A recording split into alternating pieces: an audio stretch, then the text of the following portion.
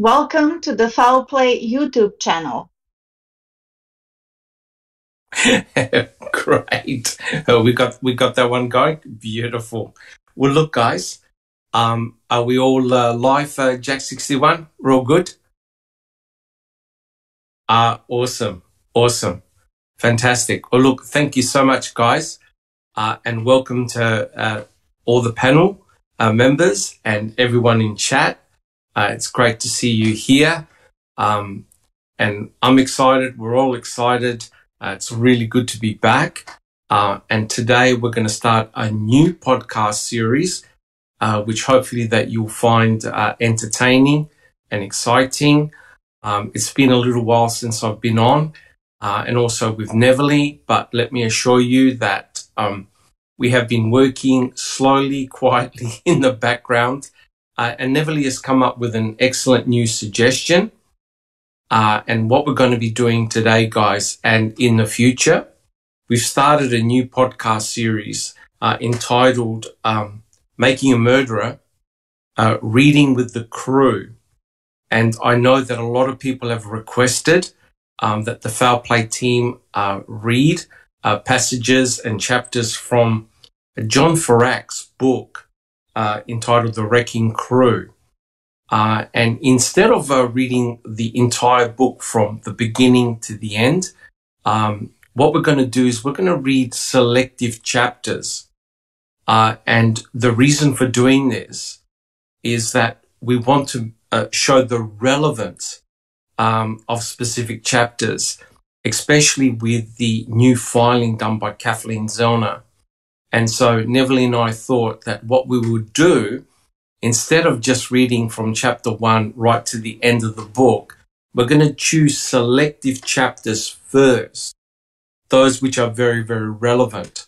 Uh, and as you can see, the very first chapter uh, that we're going to read is entitled uh, Bobby's Garage. And I'll tell you what, that is an absolute ripper uh, when you consider uh, what's happening now with Kathleen Zellner's filing. Um, and if you're following the book, if you have the book, I, I, I think most of the panel members here will consider John Ferak's book as one of the very best on the Steven Avery Brendan Dassey case. Um, John Ferak is a well, renowned journalist and he's written some incredible pieces of work. Uh, he's an investigative journalist. He, he deep dives which is fantastic because that's what we do here as well on the foul play team. Um, and so what we want to do is present to you uh, various chapters. And the way we're going to do it as a team, uh, we're going to read the, the chapter out, but we're going to make it casual, right? So at any, at any stage, we can stop and ask questions. And guys, what we would like to do is to make it interactive with you guys in chat. So if you've got a question, do not hesitate to uh, ask and we can discuss. We're not on a, we're not on a time um, constraint here. Uh, what we want to do is to make these podcasts um, my my team mem- members don't believe me. Want to make it short and sharp. Maybe go for about an hour, hour and a half. So keep it nice and focused um, uh, because there's a lot, a lot to cover. Um, and uh, Jack61 will back me up. Uh, we're on a panel with Jeff Jones at the moment looking at making a murderer too. And no joke, we spent what close to an hour, Jack61, and that's before the show, the the episode had even started proper. Oh yeah, right, absolutely, yeah. so you know we don't know how it's going to go. So hopefully you'll enjoy us, uh, enjoy the ride with us. Well, look, without further ado, uh, first of all, I'd like to say a few things and then we'll make a start. Uh, I'd like to thank, personally thank everyone in chat and also my fellow panel members um, for all their love and support. Um, I was actually very sick. Uh, it was a very uh, trying time for me personally. I'm sort of over the edge now. I'm, I'm getting better, which is great. And uh, it goes to show how professional our team is um, and the fact that we are a team uh, and others can pick up the slack and do excellent work. And uh, I, I would like to thank everyone on the panel for the excellent work that they've done over the last six or so weeks. It's just been awesome. Um, also, I'd like to thank everyone in chat for their uh, well wishes. Uh, guys, we're here, we're here because of you guys, and that's awesome. So if you like what we do, uh, please subscribe uh, or give us a thumbs up if you enjoy our podcast. And all of us here at Team Foul Play would like to thank each and every one of you. We have hit over 2,000 subscribers, which is awesome. Uh, and recently it was our third birthday, right? And uh, when you think when we first started this journey, we had no subscribers, we had very few members. Um, I remember the founders, we all got together and uh, we decided what we were going to do, whether we were just going to completely abandon uh, these cases here. But in the end, our, our love and our passion, uh, we wanted to continue. Most of the members here, we were part of originally with Rubber Ducky many, many years ago. Uh, and because of creative differences, we parted ways. We did it equitable. And it was a very, very hard thing to do at that time. But um, I'm so impressed that the people that we have attracted to our Foul Play channel, uh, and you can see the core group here uh, made up of founders, staff members, and mods. Uh, and um, I wouldn't want to be anywhere else. It's a, a truly, um, I'm truly blessed uh, to be a small part of this group, and uh, we're all different, right? We don't all agree, right? We're not all clones. We have uh, various different opinions, you know, with everything, and that and that's, I believe, our strength, right? So thank you so much for that. Uh, don't forget, we also have a merchandise store where you can support us a lot of us have got t-shirts, hoodies, mugs, and things like that. And uh, uh, Susan uh, and also Zoe have done a fantastic job putting that together, and uh, we've earned quite a bit of money, which we all pass on. Uh, you know, we we don't hold on to any of the money at all.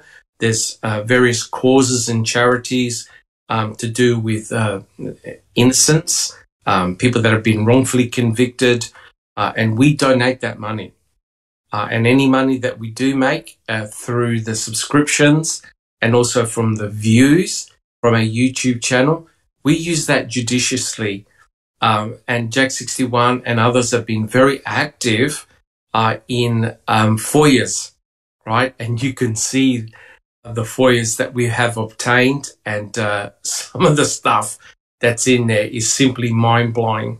Well, look, guys, just so that we don't waste any more time, what I like to do is go around the, the panel and just a quick introduction to everyone. Uh, Jack 61.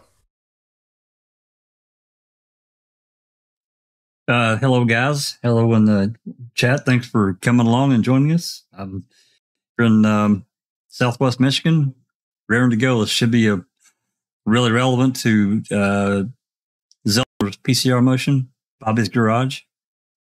So uh, yeah, I'm I'm anxious to get to it. Let's do it. Fantastic. Thank you, Jack61. Uh, next we have Neverly. Welcome back.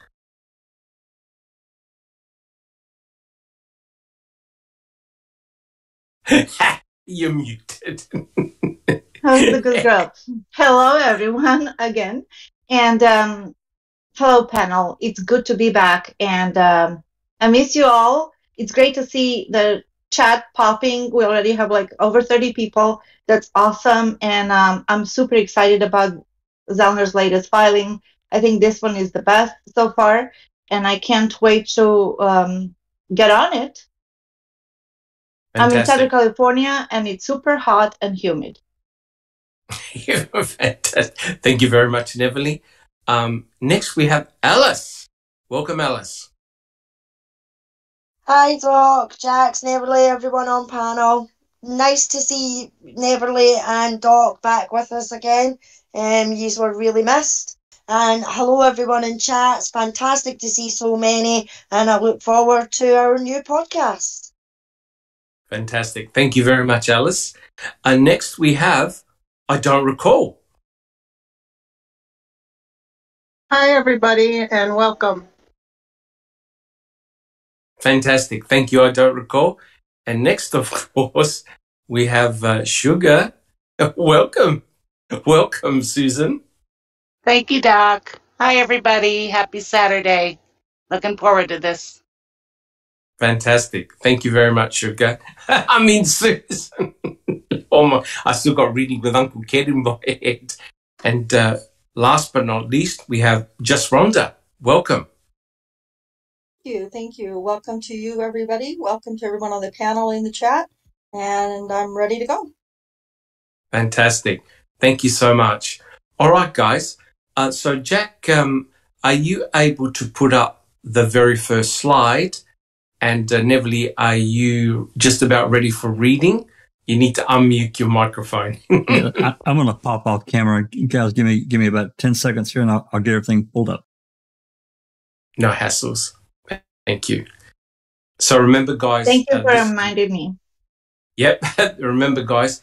This is the first time we're doing this. It's very flexible. We don't know how it's going to go, but uh, we're looking forward to it. So provide feedback.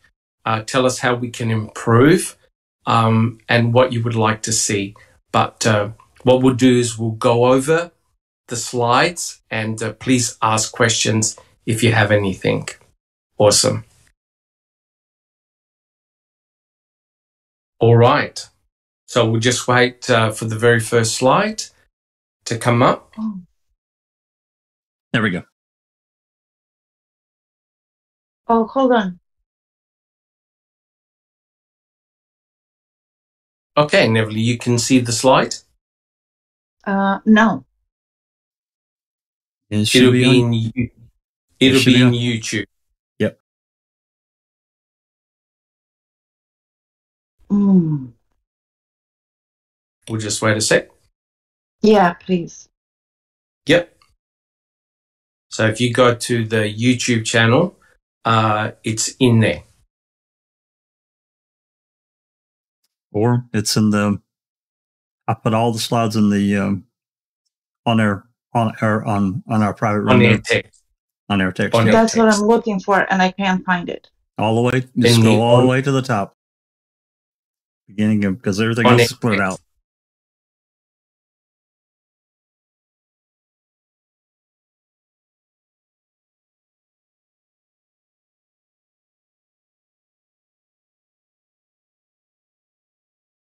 Have you got it, Neville? It's on no, on air text.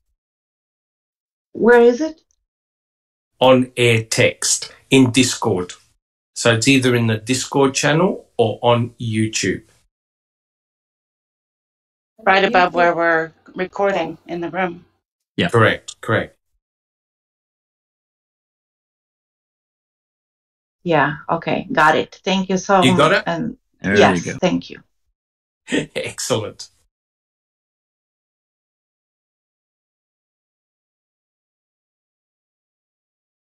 Okay, chapter 29 Bobby's Garage.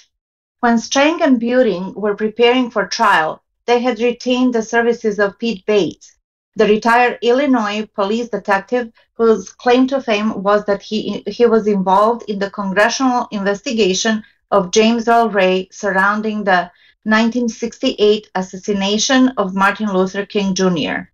After retiring from law enforcement, Baetz moved back to his native Manitowoc County. However, the defense was handicapped at trial because Kratz had failed to turn over the computer disk with the violent pornography of Bobby Dassey's computer. As a result, Buting were unable to aggressively present a convincing case pointing the finger at Bobby Dassey as the more likely killer of Teresa Halbach. Baetz has remained unwavering in his belief that the most likely people involved in Teresa's murder and dismemberment were Bobby Dassey and Scott Tadych. In 2016, he reached out and spoke with Kathleen T. Zellner about his suspicions and never heard back from, from the firm. Then, in 2018, he got a call out from the blue. It was Zellner.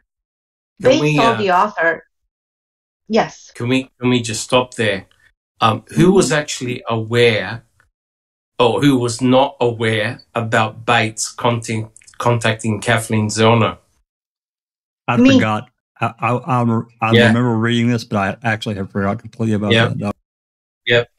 Isn't that incredible? I, when I read that and I saw it, I thought, oh my God. Because Baetz, of course, was one of the investigators for Strang and Buting. And uh, a lot of this chapter is actually due to the work of Baetz. And he was so suspicious of uh, the events surrounding Bobby Dassey and also Scott Tadych that he actually informed Kathleen Zellner. I was completely this- unaware of that. Yeah, and this is nine years after, pretty much around nine years after Steven was imprisoned.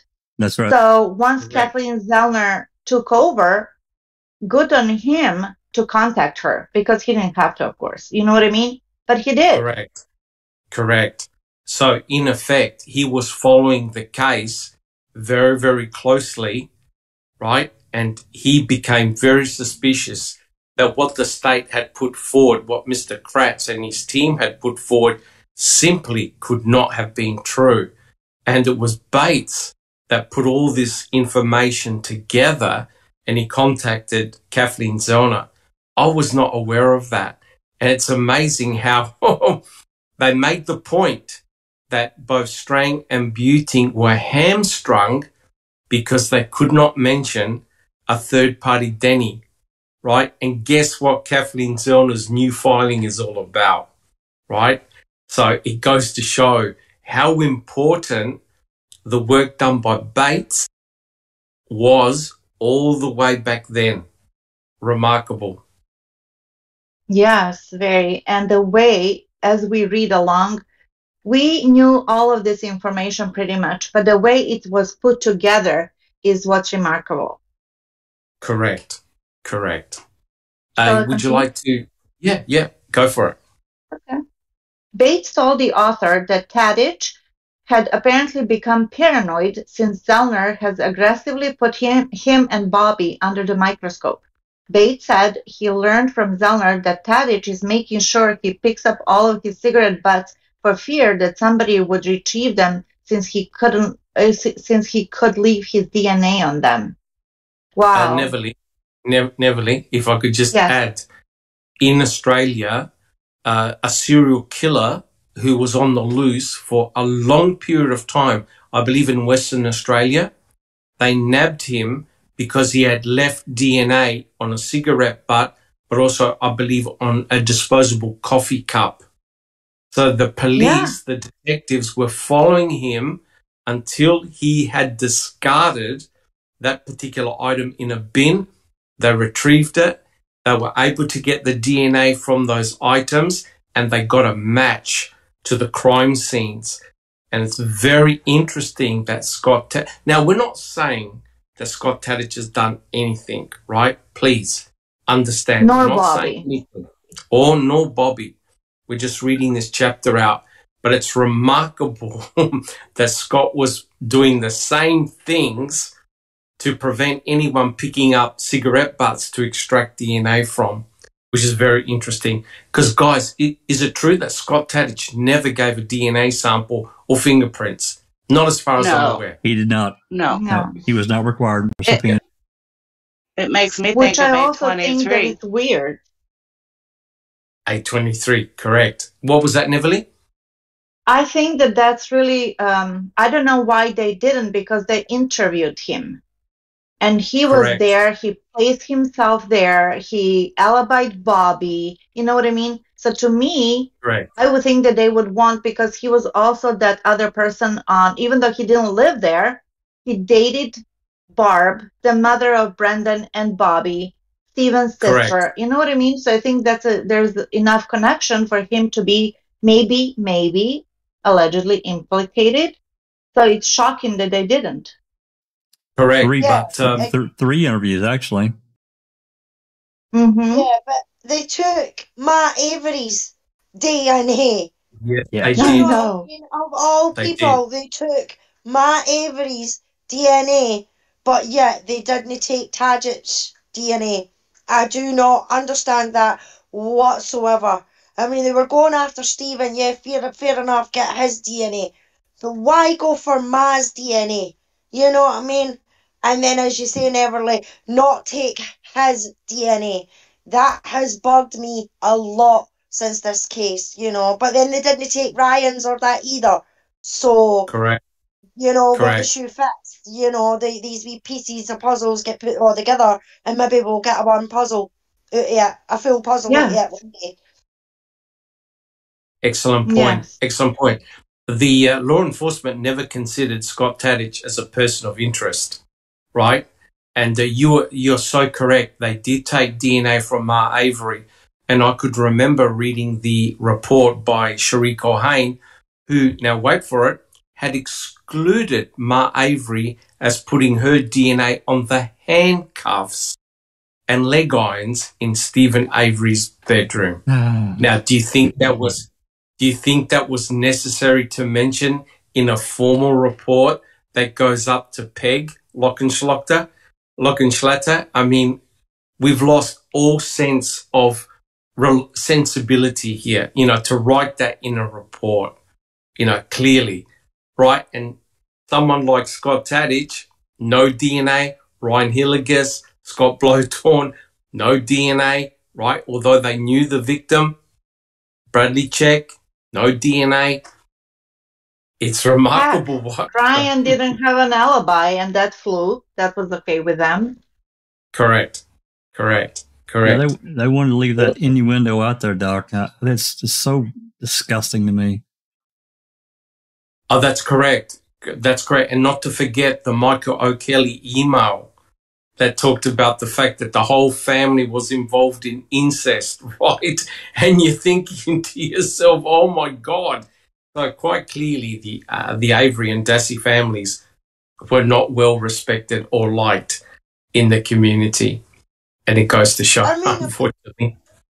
No, really, Doc, because that's that certain part about incest and things like that in families always seems to sort of come up somewhere along the lines and a, a, a murder investigation or something like that, you know, because the same thing, exactly the same thing happened in the Luke Mitchell case when he done the Yeah. interview with his mum and she Point. was stroking the back of his neck, being Yes. a comforting mum and just playing with his hair at the back of his neck. Well, that got turned into they were sleeping together and everything like Yeah. that in an incestuous relationship. It seems to be the go-to sort of thing that Correct. I think so too, Alice. go for, you know, to try and taint the Averys or the Mitchells or whatever, you know, to make them sound even worse than what they what what they're not, you know. So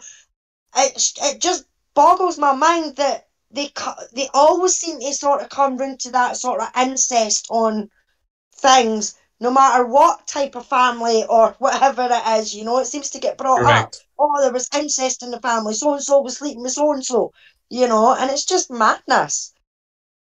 I think Correct, that it comes correct. from the same playbook of uh, vilifying, how to vilify somebody Yes. in the eye of the public. Yeah. Correct. It's, it's basically dehumanizing a family Yep. so that you feel no sympathy towards them. Uh, and, uh, you know, that's exactly what Kratz did. Um, we know what he did in his book. We, we know what he did during his trial. And, uh, you know, when people have that attitude that they felt that they needed to include that statement about Mama Avery, you know, they've crossed the line. They've crossed the boundaries. So, yeah, unbelievable.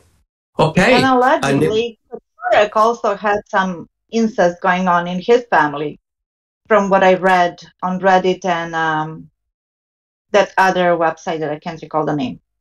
So Correct. it's, yeah. Who are you talking about? Web, slu- web sleuths. Turek? No, it was that Brian something. Brian McCorkle. You're talking Oh. about convoluted Brian. Yes, that one. right? Yeah. Yeah, hmm correct. So- And on- accusing who? Katurek. Oh, Kasarik. Oh, uh huh. Mhm. Yeah. Uh, and I, I also agree with uh, Ronald Cass, welcome to chat. Uh, yeah, A23 is extremely important in this particular case, right? Uh, and also with what Jack61 said uh, about the flash card in the back of Teresa Halbach's um, SUV. That's going to be very important too, especially if there's they. I believe there was DNA, but they didn't do any extraction uh, on that. Is that correct, Jack sixty one? Yep, it's ready. To, it was ready to submit for profile, and she didn't do it. It just stopped. That's correct. Correct. So DNA in this case uh, is extremely important, and the analysis has not been complete. And the question is why? why is it incomplete? Okay, Neville, would you like to continue? Sure. The background that we've done on him is that we had an individual who had no respect for women and he was aggressive with them, Baetz said. He was, he's still talking about Scott Adich. He's what we cops would call an asshole. Baetz said the story presented a trial suggesting that Teresa's body was burned in Avery's outdoor burn pile pit was preposterous.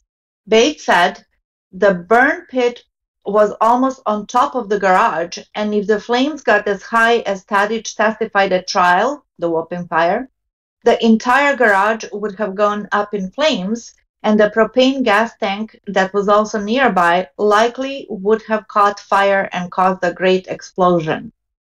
Uh, Neville. Baetz said, yes. Neville, yeah. Uh, sorry to interrupt, but you made a very, very good point, right? And who was a star witness against Steven Avery in the trial? Who was another star witness against Steven Avery? Scott.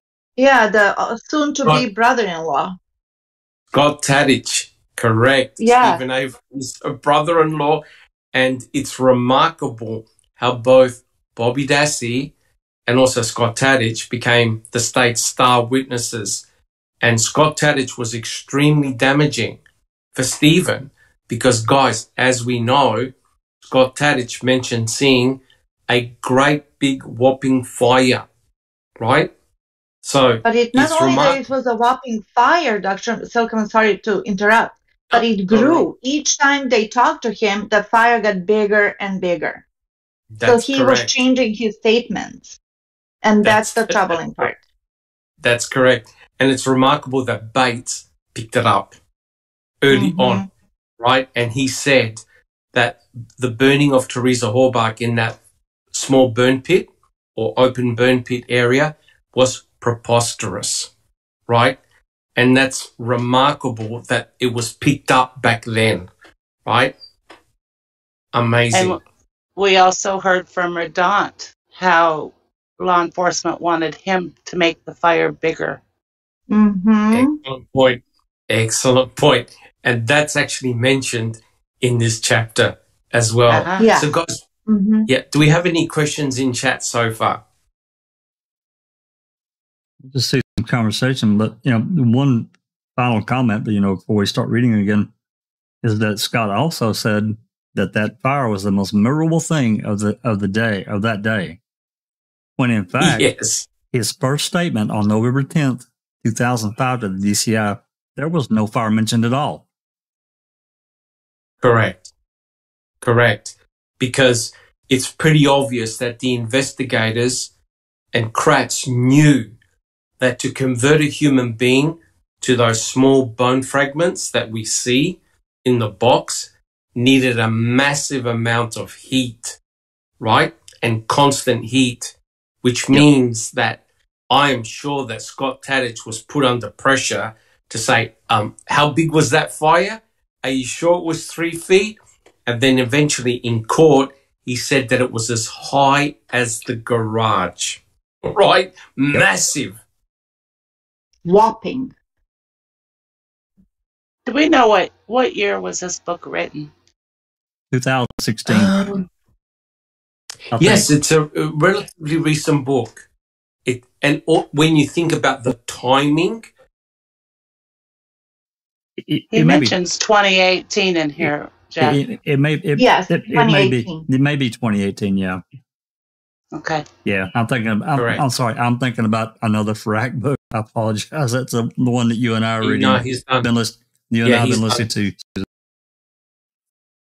Yeah, he's done Gotcha. quite a lot. He's done quite a lot. Okay, Neville, would you like to continue? Yes, sure. Baetz said that any old school detective, someone familiar with flames and burning trash, would have realized Teresa's body was incinerated inside of a 50 gallon steel drum. In other words, the burn barrel. Nobody in their right mind would have taken the chance of simply tossing the body outside because the weather elements are too unpredictable. The use of a burn barrel would allow the killer to conceal the crime because nobody would see there was a body inside unless they physically walked to the barrel and peered inside. And the fact remains, several of Teresa's bones were recovered from the bottom of Bobby's burn barrel and nobody else's, Baetz said.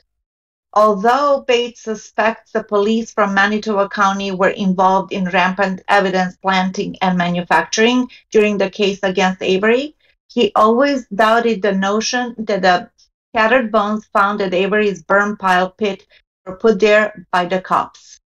For starters, two of the biggest bones that were found turned up on the edge, not within the burn pit itself.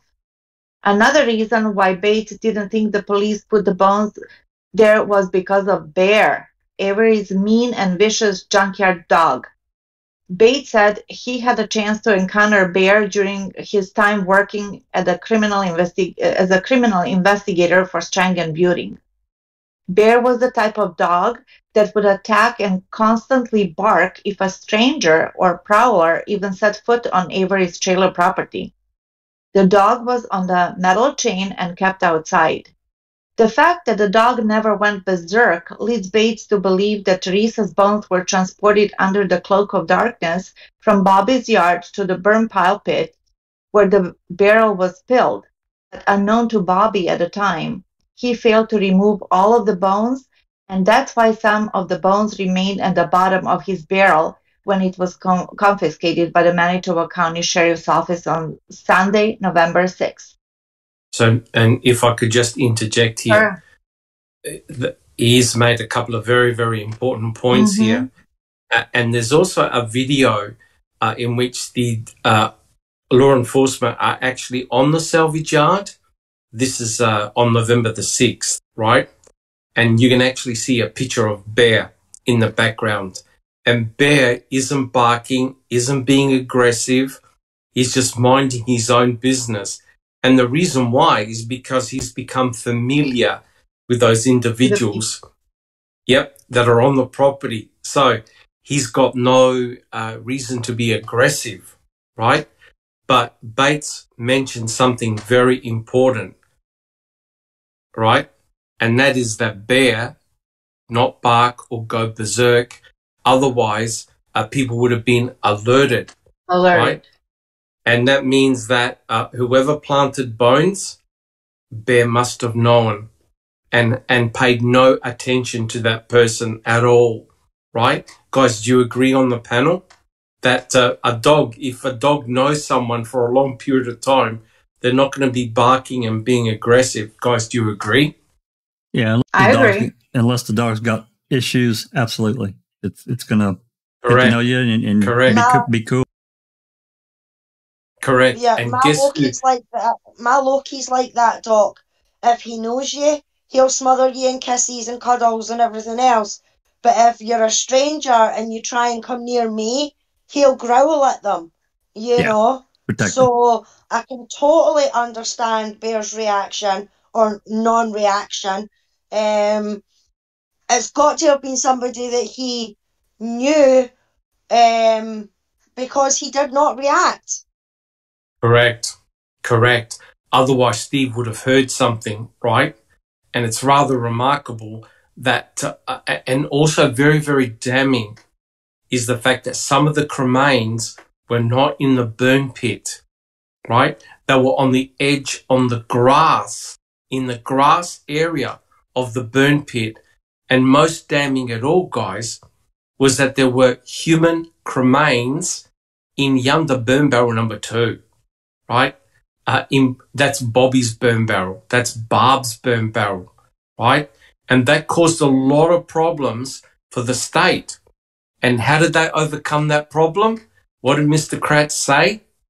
Mr. Kratz said, Oh, Steven couldn't break those bones, so he picked up the big, the four biggest bones and decided to walk to his sister's burn barrel and just dump them in there. Oh my God. You know, Doc, Yep. I also also keep in mind the Kuss Road and how that played a part. oh yeah, Not necessarily that we know of for sure on the sixth, but it there's a dot dot dot to that because of what we know. Um, Fallon said in his his report, his uh, reply to Strang and Buting about the clandestine burn site, and that was Kuss Road and finding bones. I- I- Correct. I feel, I feel 100% convinced those, but whatever they found there was brought back to, to the yard. That's me. That's my Correct. opinion. That's an opinion. correct, correct.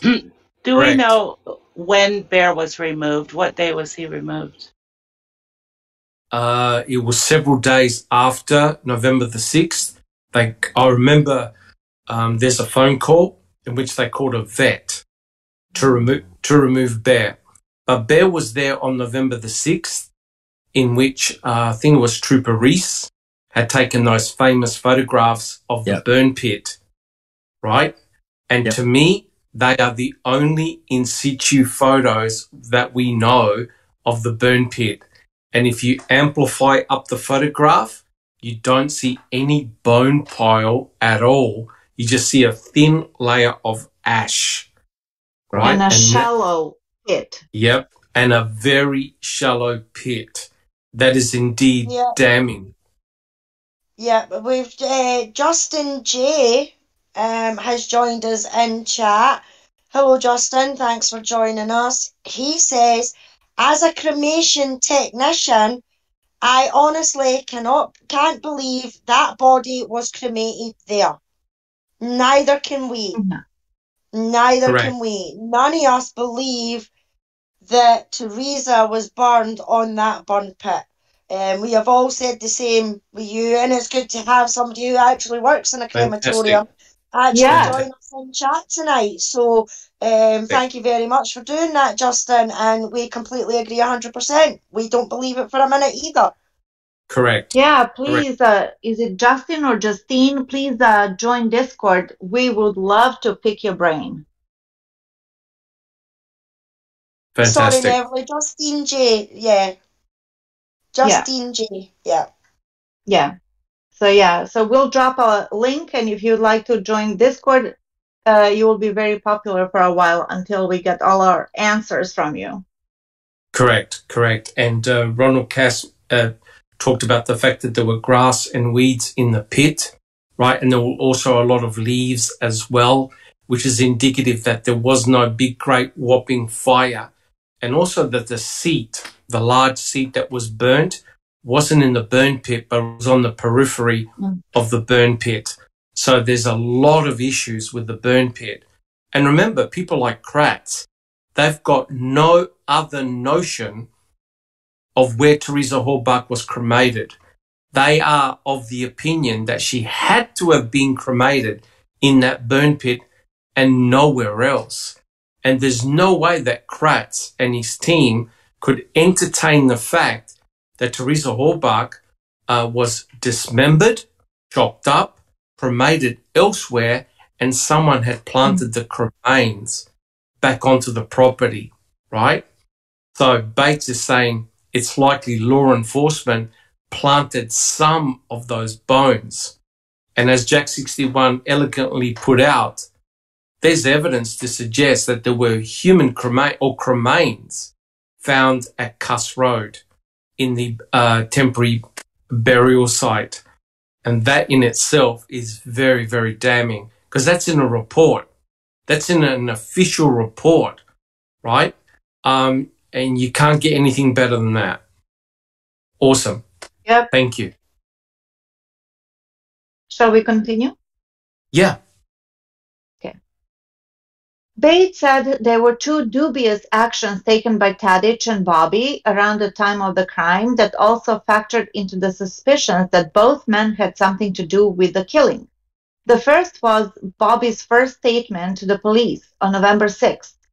That was when Bobby told Dedering he and Tadych both passed each other traveling on State Highway 147, but that the investigator should interview Tadych because Tadych would remember the area where they passed each other going in opposite directions on the two lane state highway. It was very valuable for them to have a mutual alibi, Baetz said. Again, that was so self serving. Whoever I, killed uh, Teresa, yes, sure. Yeah, can I just say, you know, I don't know what the rest of the panel and people in chat think, but um, does anyone find that rather suspicious that Very. at the time that at the time Teresa Halbach was last seen is also the time that Bobby and Scott Tadych alibi each other in the same area and at the same time. Does anybody find that suspicious at Jack 61? Raises hand and says, yes. Uh, you know, I guess that, um, you know, just uh, again, an opinion. Um, I have a real problem. I've always had a problem with the double alibi because, you know, it, you can put anything down on paper, but you don't really have a lot of proof. And I'm not saying they're lying. I'm just saying it, it, it just, it looks really bad tied in with exactly what you said, Doc. It looks really bad. I call Correct. it convenient. As BB would I say. call BS. Yeah. yeah. And he was And, uh, so, Bobby was so convincing when he said that, so confident when he said, oh, yeah, just ask Scott. And he will tell you exactly when and where that happened. Like, really? Correct. You know? Correct. And as someone as someone had put out in the comment, there was also no coroner present uh, at the uh, um, burn pit. There was also no forensic anthropologist present at the Correct. burn pit. The only and there are no in situ pictures of any of the cremains at the burn pit or in under burn barrel number two. Right. The only thing that we've got. Sorry, Jack sixty one. No, I, I'm just going to add in, and everything you just listed there, that just leads in to say they could write any damn thing on paper and just say, hey, judge and you know prosecutor, this is what we found, and you should believe us. But we can't really prove it, but you should believe us anyway. Bullshit. Correct. Correct. Because Bennett was only handed a box of bones and asked, are these human? And who are they from? Right? Male, female, age. That's it. Uh, he was handed a box of bones. And shockingly, as we all know, uh, the state forensic anthropologist, Dr. Eisenberg, had never set foot on the Avery salvage yard, was never ever present. And we know how Deborah Kakatsch was treated, right? Ken Kratz said you only need a coroner to keep the body and that's it. Incredibly disrespectful. Yeah. And you know, we talked many times about the, where where is the tent, where is the grid, how did they collect that evidence? They put it all in the box, like a pizza box, right? And uh, gave it to Eisenberg, who was out of town or something like that. So three days, the box sat somewhere for three days. It's just the chain of um, custody was a, really, really funky to be nice, you know. Probably in a regular, uh, proper uh, trial, that would be also all taken out because who took care of that? Where were the bones? Did they drop it off in front of her door? Was it in a evidence uh, collection department? I don't know.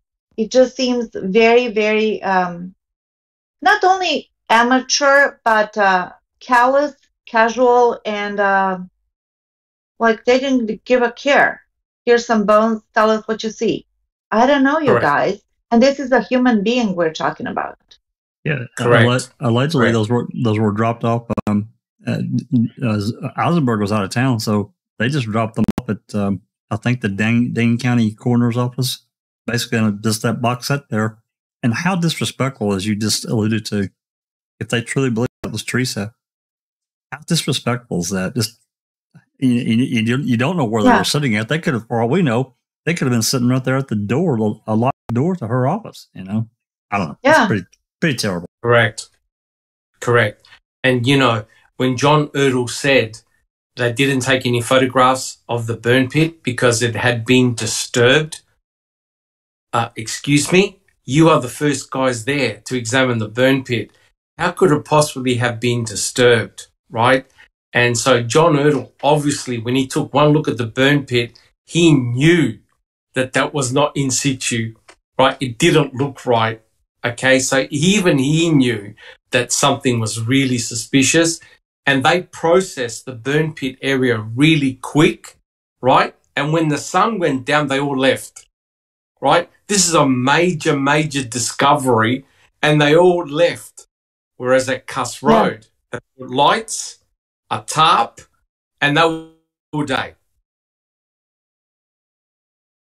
Yeah, they taped it off. They had a was it ambulance or corner or something? They had all kinds of vehicles there. They even provided right. lunch or whatnot. It was all under control. This one, we had a skid steer, right? Correct. We had a Correct. skid steer digging yeah, as um, and destroying as the evidence. yeah, as we've all discussed before, guys, uh, they brought in um, basically bobcats and they completely flattened and removed the burn pit, which means that no one could, not even the jury, could go back and have a look at how small that burn pit area was, right? And I wonder yeah. why. I wonder why they they did that, guys. you, you, know, Doc, talking about yeah. that, you were talking about Ertl.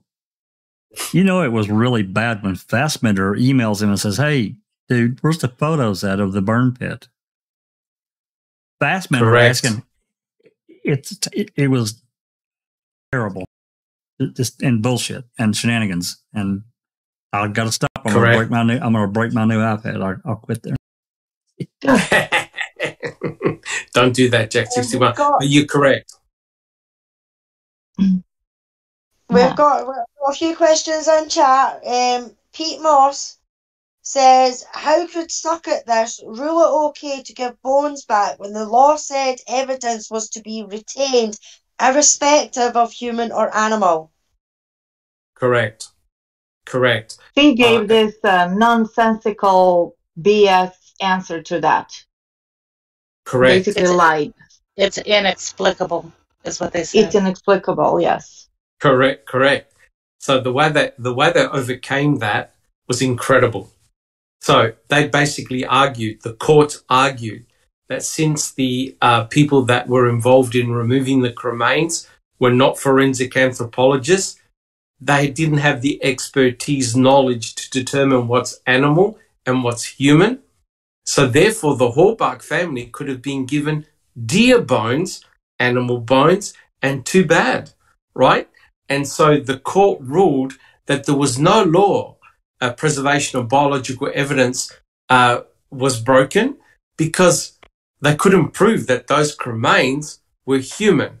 Yet if you look at the CASO reports, every bag that was open contained cut, burnt human bones.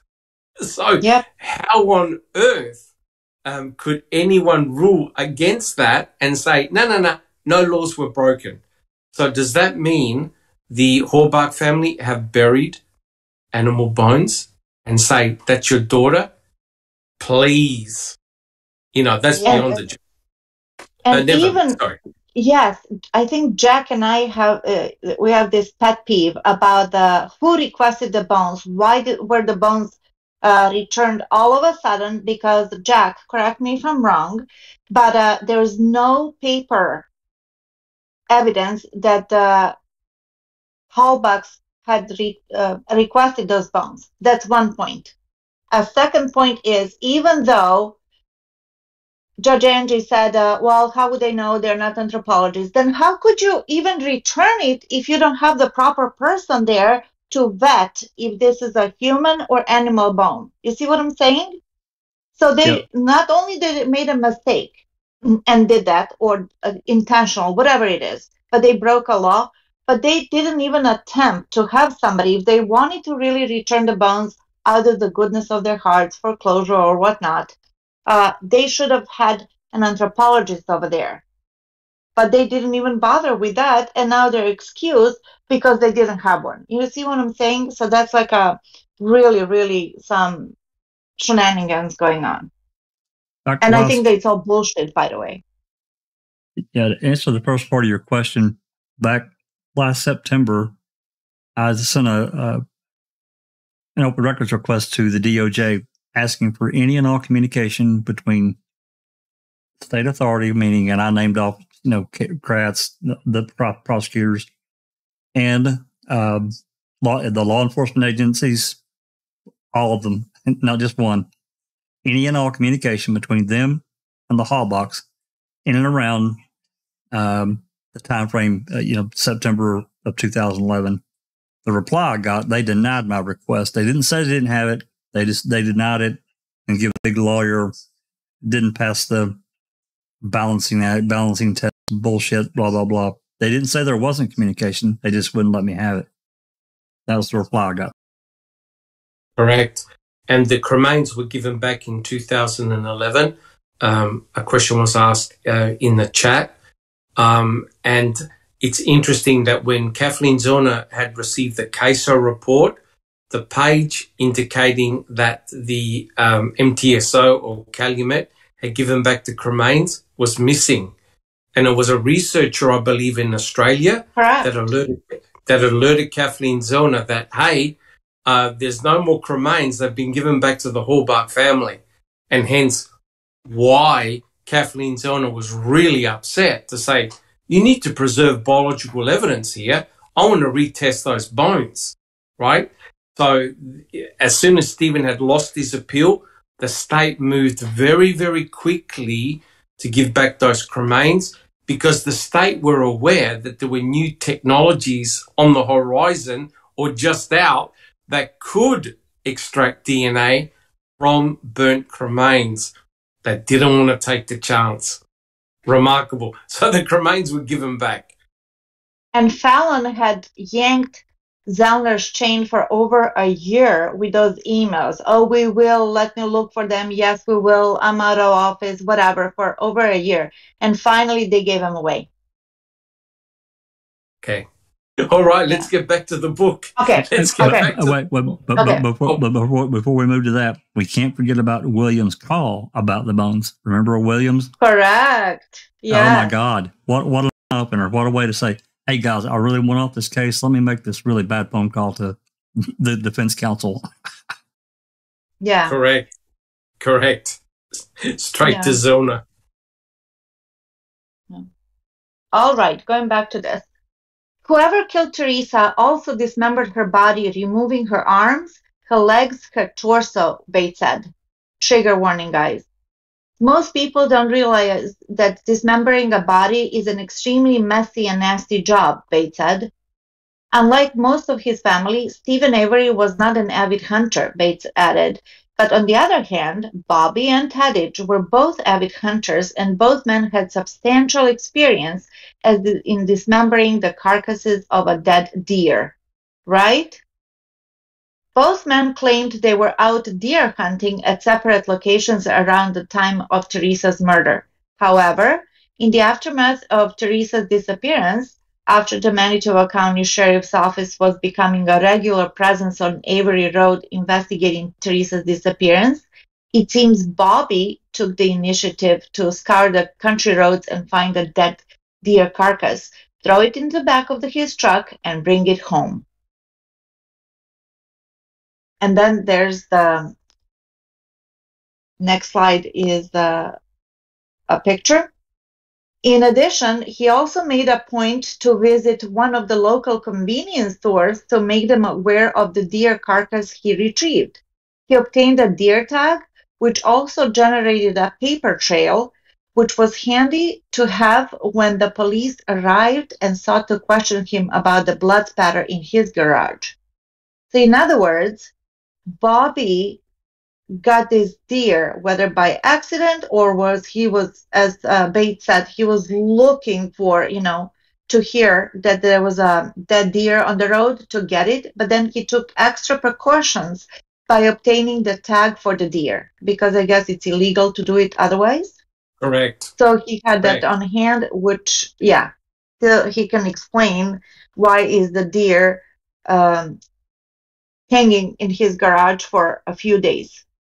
Correct. I believe I'm not from Wisconsin.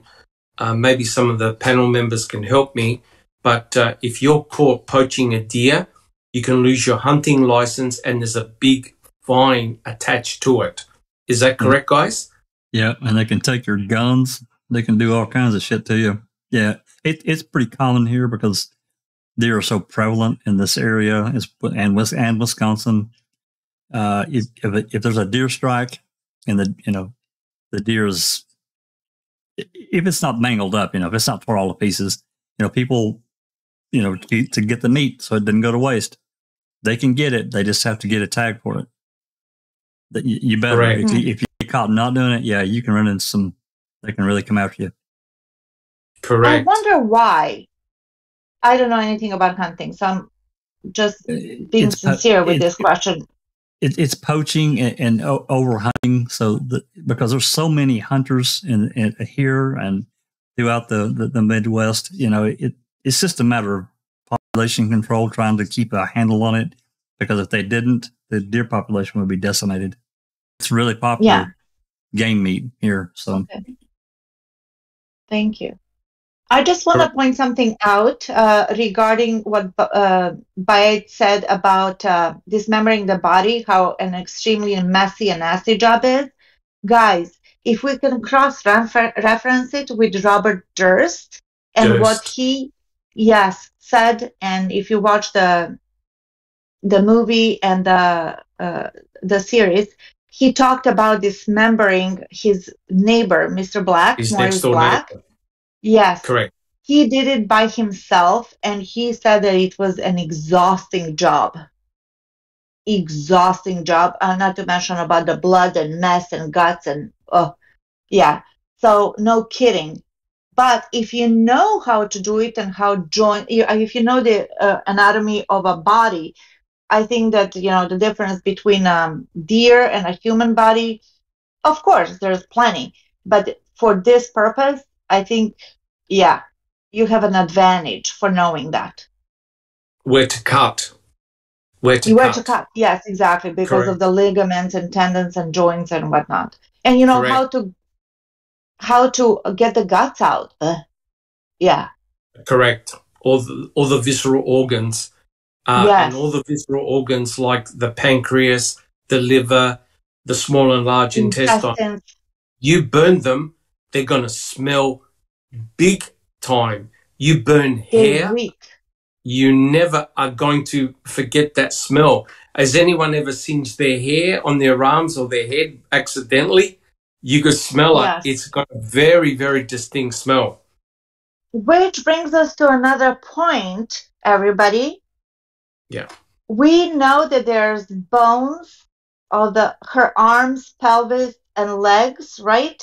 And then we have Correct. uh, one or two pieces from her head, but the whole torso is missing, and most of the head and teeth, and the hair and the guts. So, yeah, so that was conveniently missing. And look at this deer, not to compare to Teresa, but all I'm saying, you see legs, you see uh, hind legs, front legs, rib cage, but no guts. They dressed the deer already. Everything's gone. Everything is gone. Yeah.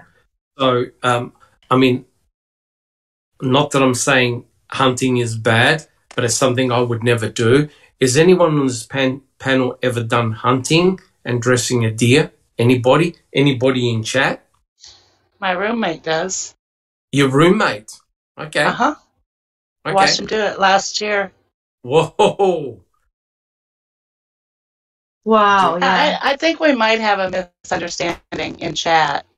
Um, Michelle Moore thought somebody here said that the Halbachs denied asking for the bones back. Someone say that. I hope no, not. we never the said that. No, uh-uh, no, no, uh-uh. No, No.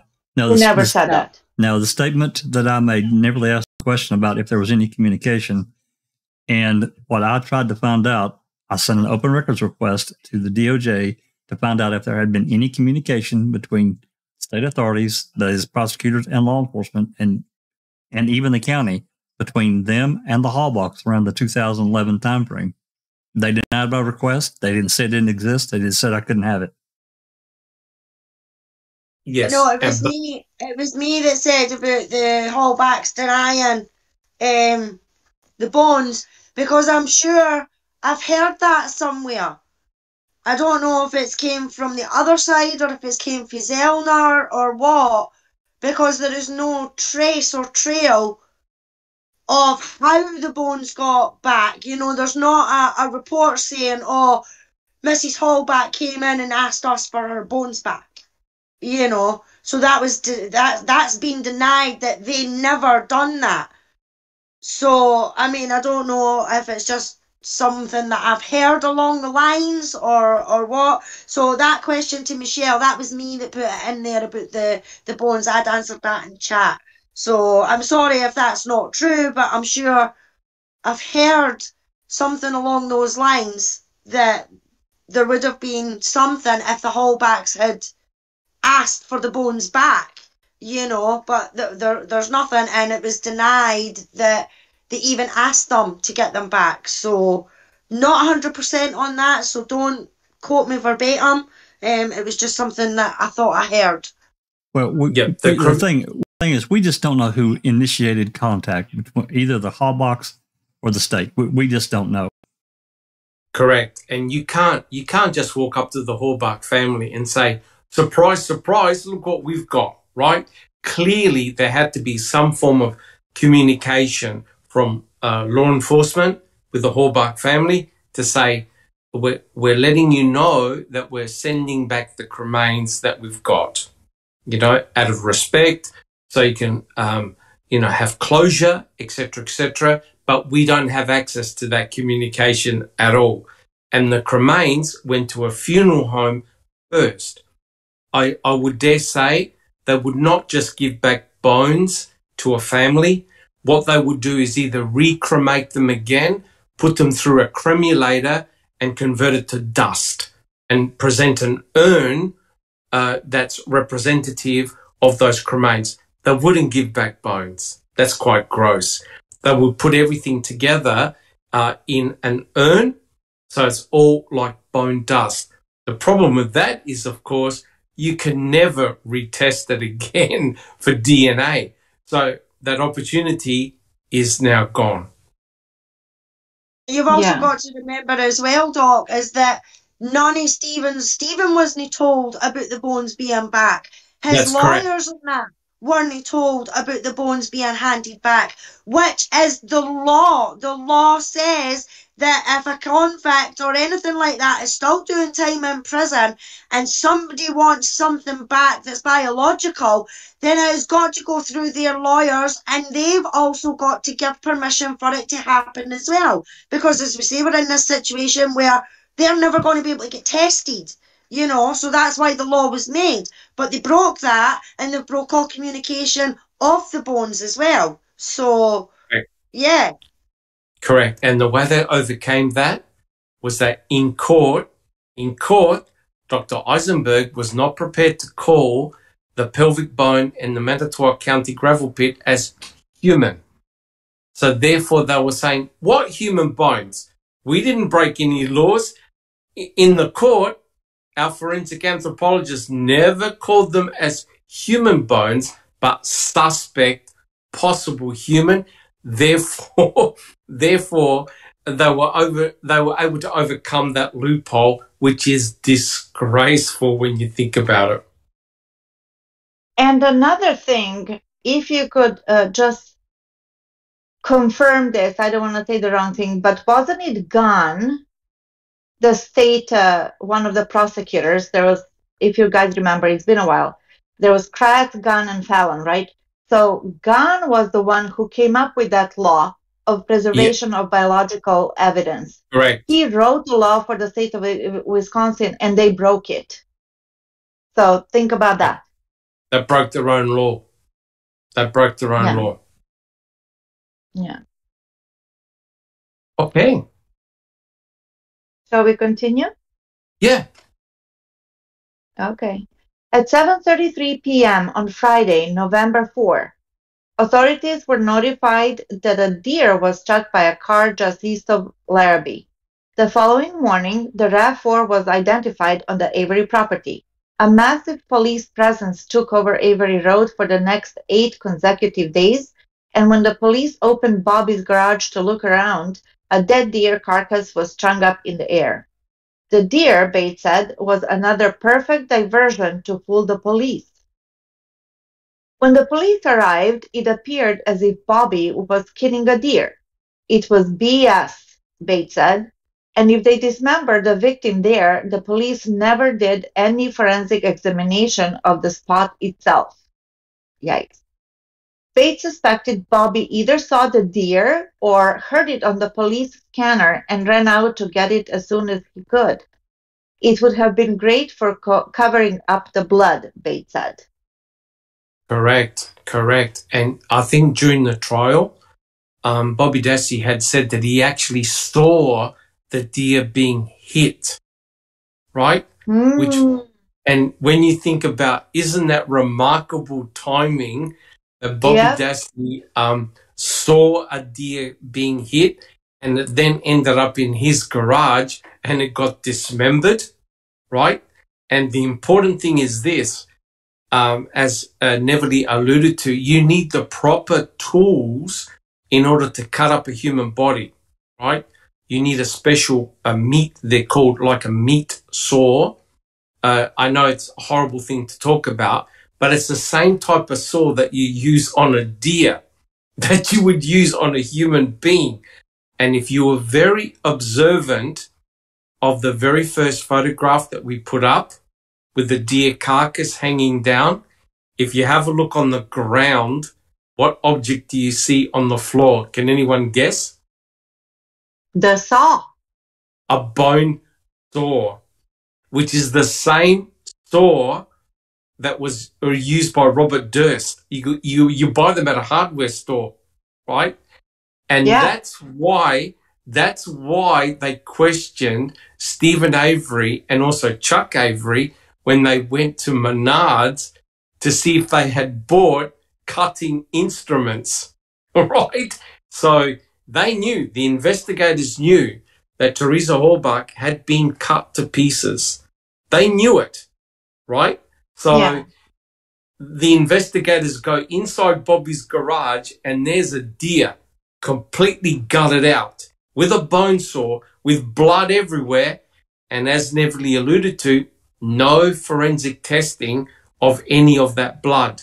Now, if you see blood on the ground, can you tell the difference between human and deer blood? No, you can't. No. And then the most ironic and sad part is that Steven Avery's trailer was there, and his first neighbor is actually his sister, Barbara, right? So Bobby, Correct. who lived with his mom, was in his garage, had a deer hanging with all the tools that you could dismember the deer or a human being. There's blood in the garage, and they didn't pay any attention to that. Yet they destroyed Steven's garage where there was no not a speck of blood, nothing. They Correct. jackhammered it, they took everything out allegedly, they marked everything, and then you know, five months later they find a bullet. They found they found nothing. And they went through all of that trouble. But yet for Bobby, who needs an alibi and who needs to luminol the, oh, they luminol Steven's place, but they didn't Bobby's. No, that no, they didn't. No, they didn't, Yeah. which is quite shocking because Targeting 101. Yeah, they wanted Correct. him or else. correct, which is remarkable because remember uh, Jack sixty one what the investigators were asking Brendan Dassey about the chains and the hooks in Steven Avery's garage, That's right. and they said and they said to Brendan, "Did you use any of those uh, chains or ropes hanging from the rafters?" Hint, hint, right? And Brendan Yeah. said, "No." And No. Fassbender and Wiegert knew that Teresa Halbach had been cut to pieces, and yet in Bobby Dassey's garage, You've got a deer suspended from the rafters on hooks. You've got all the cutting instruments. You've got a dismembered deer and no one put two and two together thinking, well, replace the deer with a human being. And there you go. You've got everything you need to cut up a human being. And none of them ever thought, maybe we better check in here just in case there's some human blood. Eh, nothing.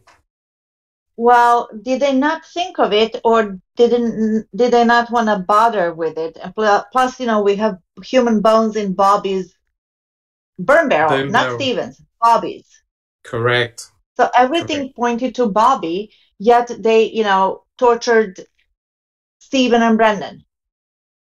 Correct. Correct. Yeah. And correct me if I'm wrong. Didn't um, Bobby Dassey say, um, we burn the deer heads? We put them in the burn oh, barrel and burn them? Yes. Correct. Yes. Correct. Yes. So I guess when you hunters uh, can actually add to this, at one point, I actually say, have it saved on my phone as a picture. They asked Bobby, um, Dedering interview partner, the Wisconsin DCI Special Agent Kevin Heimerl made an observation. They were talking to Bobby. He said, It sounds like you've skinned and butchered your own deer before. Bobby was 19 at the time, mind you. He said, Yes, Bobby agreed. What would you normally do with the hide then? He goes, We took him into town. Oh, okay. Then Dedering wondered if the local butcher shop uh, accepted the deer head. And Bobby said, No, we'll just burn him, Bobby answered, over in the burning barrel.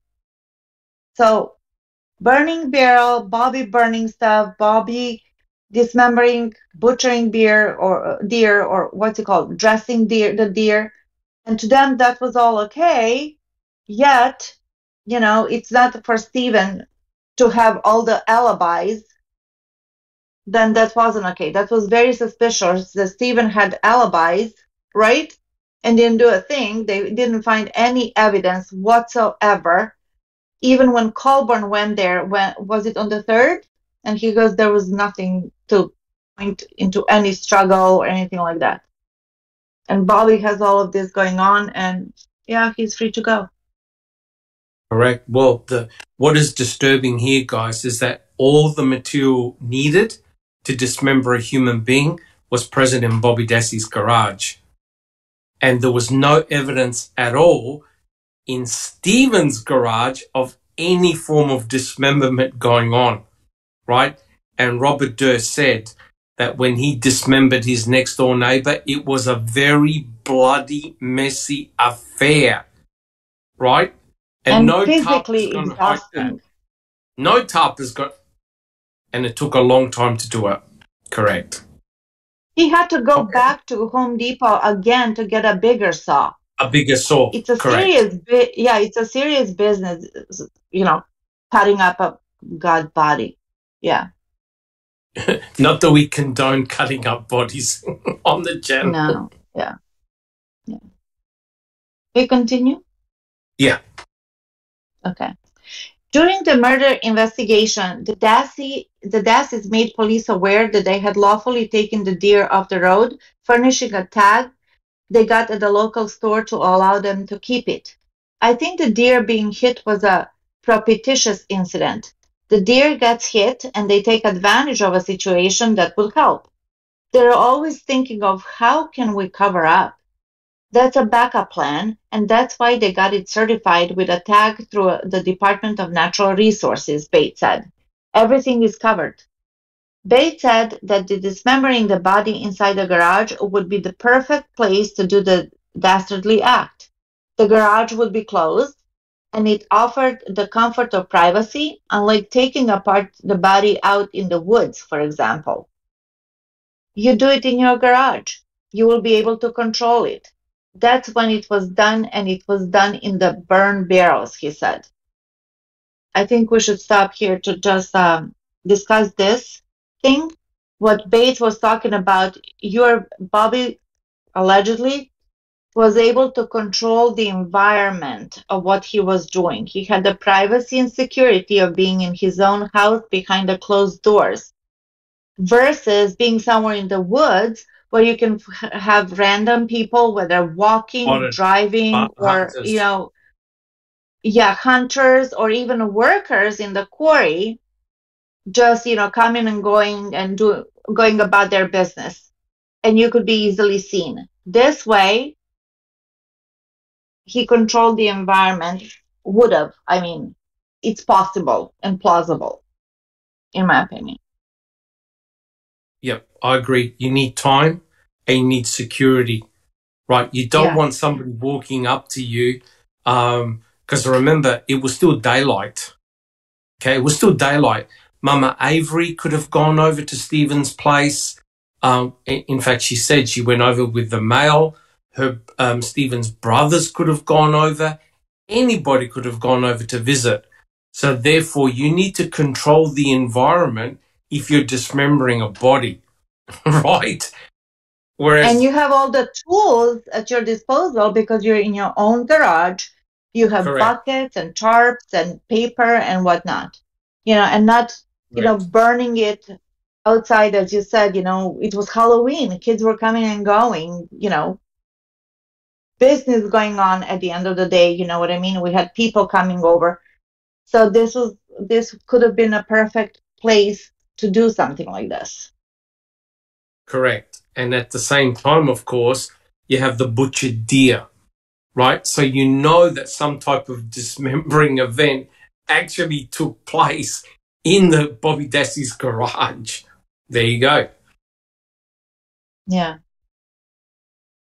Joshua Dunn's affidavit indicates he saw a fire reminiscent of a burning barrel in the area of where Bobby Dassey lived. The electronic components of Miss Halbach's were burned in the Dassey burn barrel behind the residence at approximately 4:30 to 5 p.m. That fire was observed in the Dassey burn barrel by Joshua Dunn, Zellner's filing state. So, Susan, I think that you asked about Joshua Dunn, that he saw it. And uh, yeah, and I always wonder how could he be so precise, you know, to see a fire and determine that it was uh, in a burn barrel versus just like a free burning fire. And uh, maybe the difference is, Dr. Silkman, will you explain this, please?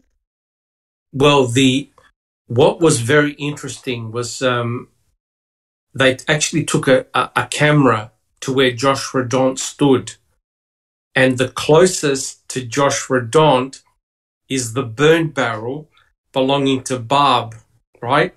Steven's burn pit was further down, right? And um, Josh Radandt describes a fire very similar to what you would get from a burn barrel, as in flames shooting straight up, as opposed to the burn pit. So, from Josh Radandt's perspective, the burn barrel, because the Janda family had, I believe, four burn barrels altogether, the cremains were found in Janda burn barrel number two, right? So, in one of the Janda burn barrels, Josh Radandt had a, a perfect line of sight to those burn barrels, right? So what he was describing was a burning event in the burn barrel as opposed to a fire in the burn pit, right?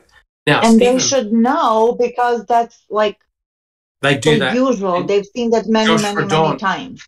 Josh Radandt had burn barrels on his property as well. So he knew what a, a what a fire from a burn barrel looks like, right? Uh, and so he could well have been describing the burn barrel fire, right? That night, Yeah. right? And he was being pressured by law enforcement to make the fire bigger, higher, stronger, right? To match what Scott Tadych was saying to law enforcement, that it was a great big whopping fire. But for Josh Radandt, he would have seen the burn barrel because Steven Avery's Yeah. burn pit was further away. Um, Jack 61, do you, do you have any comments on that one? What, what was the question again, Doc? I'm sorry. The question is that Josh Radandt more likely saw the burn barrel fire Oh, rather than from the burn pit. absolutely. And, you know, I think that the cops encouraged him to answer a certain way, or the, the special agents, not necessarily the cops, but DCI agents, because, I mean, just listening to or, and reading, you know, his affidavit and, and, and the different things he said, it just seemed like that they were after something different than what he actually told them. He was encouraged Correct. to answer answer a certain way. And Correct. that's why he lawyered up because he was like, "Whoa, what's going on over here?" Yeah, And I don't blame him. I don't either. Correct. So it all ma- it all now makes perfect sense that there was some type of burning event taking place in uh, the Janda burn barrel, right? And that's Yeah. Very interesting. Yeah. We continue. Yeah. Baetz said he's also pretty sure what was used to take apart Teresa's body. I think they used a meat saw, he said. Actually, dismembering a human body is not an easy task. It's extremely difficult. And if you get to take off the limbs, it's a nasty job. But if you've done this to deer before, you're comfortable. Here are some of the key events of October 31st, 2005 concerning Bobby Dassey's behavior as outlined by Zellner on August 9, 2018. Bobby had developed an obsession with Miss Halbach and on a number of occasions wanted, uh, wa- watched her from the, her residence and commented on her visits the next day. Remember how he would say, Oh, is your girlfriend coming? Or Girlfriend's was here. Yeah. Correct. Yeah. Mr. Avery did not leave the Dassey phone number with Auto Trader because he was waiting for a return call on his cell phone or landline to confirm the appointment. Because Bobby was awake, he would have heard the voicemail message left by Miss Halbach on the Dassey answering machine at 11:43 a.m. Bobby was the only person who could have listened to Miss Halbach's voice message to the Dassey residence at 11:43 a.m. and known that Miss Halbach did not have an address for the appointment. Bobby lied to the police when he denied knowing that on October 31st, 2005, Miss Halbach was coming to the property. Bobby told police that he saw Miss Halbach by her vehicle for approximately 10 seconds. However, Bobby was able to describe Miss Halbach's clothing, physique, and hairstyle, indicating that he had more direct contact with Miss Halbach than simply seeing her out of his window for 10 seconds.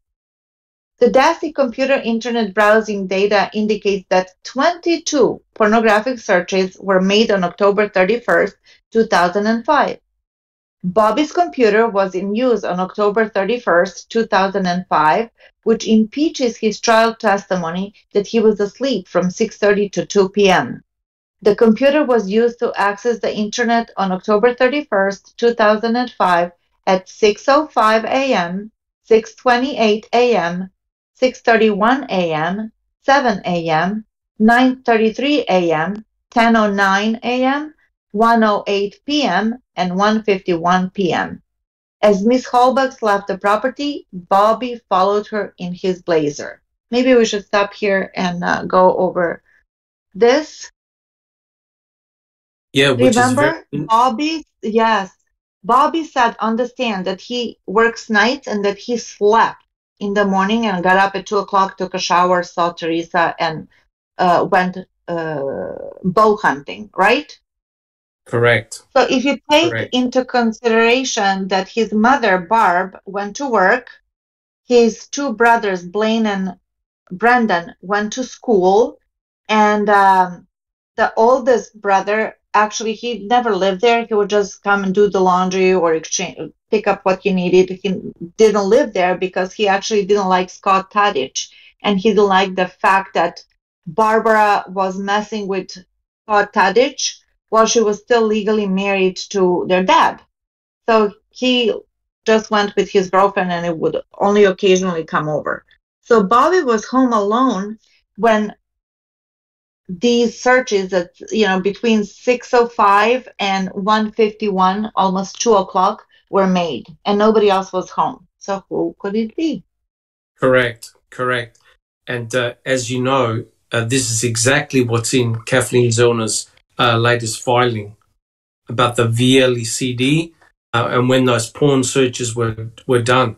And uh, I didn't even realize, but according to what um, uh, is written here, there were 22 pornographic searches on that day, right? And it Yeah. just so happens that um, that when you look at the timing, Bobby Dassey said that he was asleep. Uh, that clearly cannot be the case. And it now begs the question, was he aware that Teresa Halbach was actually coming to the property to take photographs? Because when you think about it, another coincidence, right, guys, that as he happened to be looking out his kitchen window, up pops Teresa Halbach, right? Uh, and what is remarkable is that Bobby Dassey was able to give a perfect description of what she was wearing. In fact, a better, correct me if I'm wrong, guys, but apparently a better description than what Steven was able to give. Yes. That's right. And And that's he not even said bad. that she wore like a spring coat or something like that. I'm like, how would a 19 year old know what a what a spring coat is? You know what I mean? That's kind of pretty particular. And that's not too bad for a 10, uh, an allegedly a 10 second viewing of Teresa Halbach. But what is disturbing is that Bobby Dassey must have absolutely known that there was a photographer coming because didn't he, correct me if I'm wrong, but didn't he help Steven fix up the van, clean up the van? Yeah. Right? So he definitely char- knew it was for char- sale. Charge the battery. Correct. Yeah, and Blaine also helped out for the same purpose, so they were talking about it. Correct. Correct. And also, I don't know if this is uh, if this has been debunked, but allegedly Scott Tadych was there at noon. I think that Steven I said, heard that. yeah, Does anyone That know he was whether there that's around actually been noon. confirmed? Has that been confirmed that Scott Tadych was there as well? I I don't think so, Doc and Everly. I, I I remember that you know that um, I think that was part of Kathleen's uh, scenario, uh, and you know um, possibility, whatever. Um, but I don't think that's proven. okay, Okay, correct, correct. And there were questions in the audience uh, in chat about burning uh, different types of flesh. Um, everything I've I've never never seen or, or smelt a, a a burning human body, but everyone who says that they have, especially firefighters and people involved in first uh, first responders, said that it's a smell that's extremely diagnostic. You're never going to forget it. But here's the issue: if you're burning um, flesh from an animal and flesh from a human being, you may mask some of that smell, right? But here's the kicker. It's going to be very, very smelly if you co-burn the viscera, the internal organs, right? So potentially what could have been done is that the internal organs were put in a bag and dumped elsewhere. Because I remember a lot of the hunters were saying that when they gut a deer, they have to leave the intestines where they gut the deer. And when the hunter goes back the next day, it's all gone. Wild animals come in and consume everything, right? So the last thing you want to do is burn the intestines and uh, the, the guts, the liver, the pancreas, all of those viscera. It's going to be a very potent smell, right? So if you co-burn limbs, right, just muscle tissue with fat and things like that, and you co-burn it uh, with animal, uh, you may not detect anything nefarious, if you know what I mean. But certainly, if you're burning the torso, that's huge. The torso with all the major organs in it, that's massive. That, that would definitely give a distinctive smell. But if if I may say something, if Teresa, if you go along with uh, state with Kratz's story, because to me that's nothing but a story, that Teresa was burned in a hole in the burn pit, Correct. somebody would have smelt something. There's so Oh, no. many people on that property and No doubt. surrounding the property. Somebody would have said something. Even if Steve, you know, because we're talking a particular day, you know, Teresa disappeared, the whole world knew that she disappeared on the 31st. You know, investigators are going around, missing posters, people are talking. It's a small community. You know, somebody would have said, Oh, yeah, no, I remember Steven was cooking barbecue, something, something that he was doing, something that would be a significant event. And you could smell burgers, you know, uh, hot dogs or what vegetables, whatnot. Nobody, But to nobody, burn a nobody mentioned any body, smell. Nobody, yeah, nobody mentioned any nothing smell. was burning. Yes. Uh, Susan, Yeah. do you have a comment? And yeah, I think earlier Baetz had said that um, he was talking about Bobby burning the electronics um, in the burn Yes. barrel. I, I don't know that he said that Bobby burned Teresa on his property there. no. No, No. but the states, the state said that. Oh, I know that. Said, yes. But the fact Yeah, yeah. that there Trust was said no li- the fact there was no lingering odor on the property, I think, um, tells us that Teresa was not burnt on the property there. I agree. I agree. But what I what what I think did occur, uh, there's only a, a hypothesis. I've got no proof that she was chopped up there, put into bags, and transported somewhere else and burnt.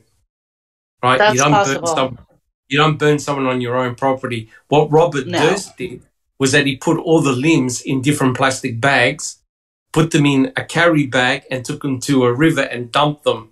Right? Threw them in So the bay. Yeah. That's it. Threw them in the bay. So, but what he did was he wrapped up all the limbs in separate bags, so it's easy to transport. And he said that the hardest thing to transport was the torso, because it's so heavy and it's got all the major organs. The limbs, including the head, piece of cake, no problems at all. But the torso represented a big problem. But Teresa was not a big person, right?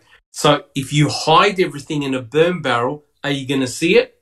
No, you're not. It's disguised. But if you burn a human being in an open burn pit, you will definitely see it. No one saw a thing. See it and smell it. Yes, absolutely. 100% correct. 100% correct. Yeah. Uh, Jack 61, did you have a comment? Well, just to add to, and you know, a, a further comment. Uh, I, I'm like you guys. I think that she was burned off property, probably on the quarry, in a temporary grave dug at Kuss Road for, you know, just for short time keeping. Um, but I think that even if, um, let's just say that hypothetically, allegedly, she was burnt uh, in pieces in the pit uh, without the organs, just the meat and the skin, you would have still smelled it and it was still permeated everything. Exactly. Correct. Uh, The burning, especially the burning of human hair, you can't, it's very, very distinctive. Sorry, Neverly, keep going, keep going. No, I will, you know, we know, I know when my neighbors are making a barbecue because you can smell it. Correct. You can smell stuff. Nobody smelled anything except for, was it um, Earl's friend? What's his name? Robert uh, Fabian, who said, Oh, yeah, I smelled the, the burning electronics of like for two seconds or something stupid like that, right? So he could recall that information. Trust me, people from uh, surrounding counties would know about a burning body. Well, not counties, you know, I'm being dramatic, but you know what I mean. And another point, Dark Side of the Moon actually said that Kathleen Zellner did a, remember a few years ago when she did a Q&A on Twitter? She posted herself, she said that on October 31st, 2005, Scott Tadych visited Bobby at the Avery Salvage Yard around noon. She was the Around one who said it. Yes. because I think that Steven said I saw his truck in front of the That's garage, what he said. Bobby's That's what he garage. said. Yes. Yeah, Yes. that's what he said. Yeah. So Yeah. thank you, Correct. Dark. Moss has joined us. Moss Call has joined us in chat. Hi, Moss. Nice to see you. Hope you're keeping well.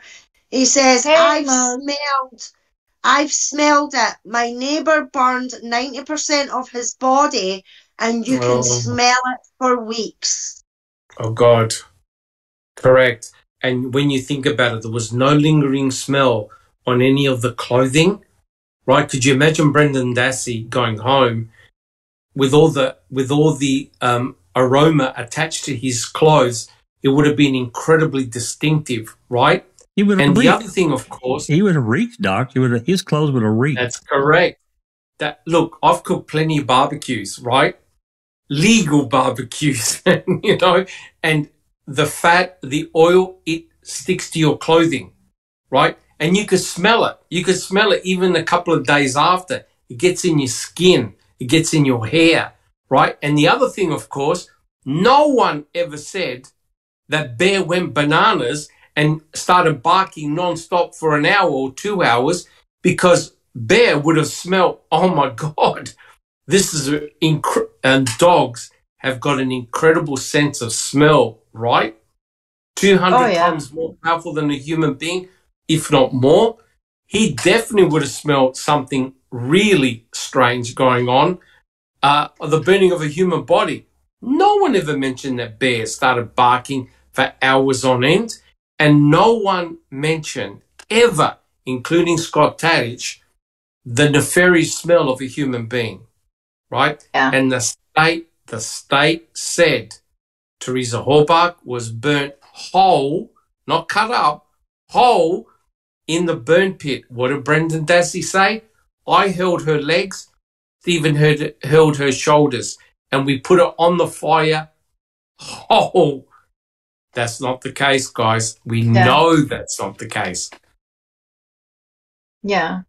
Interesting comment in the chat uh, from Justine J, who just joined.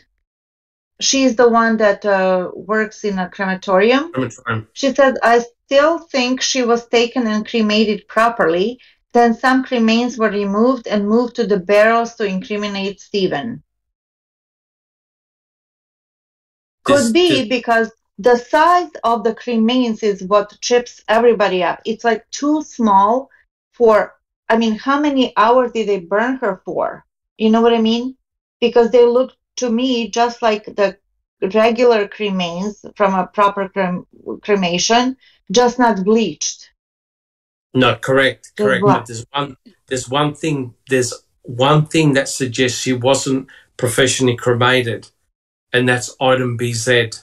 Yeah. The fact that there were That's some right. bone fragments That's right. with, with That's muscle right. tissue, right? And I, I've right. seen, I've seen professional cremations take place.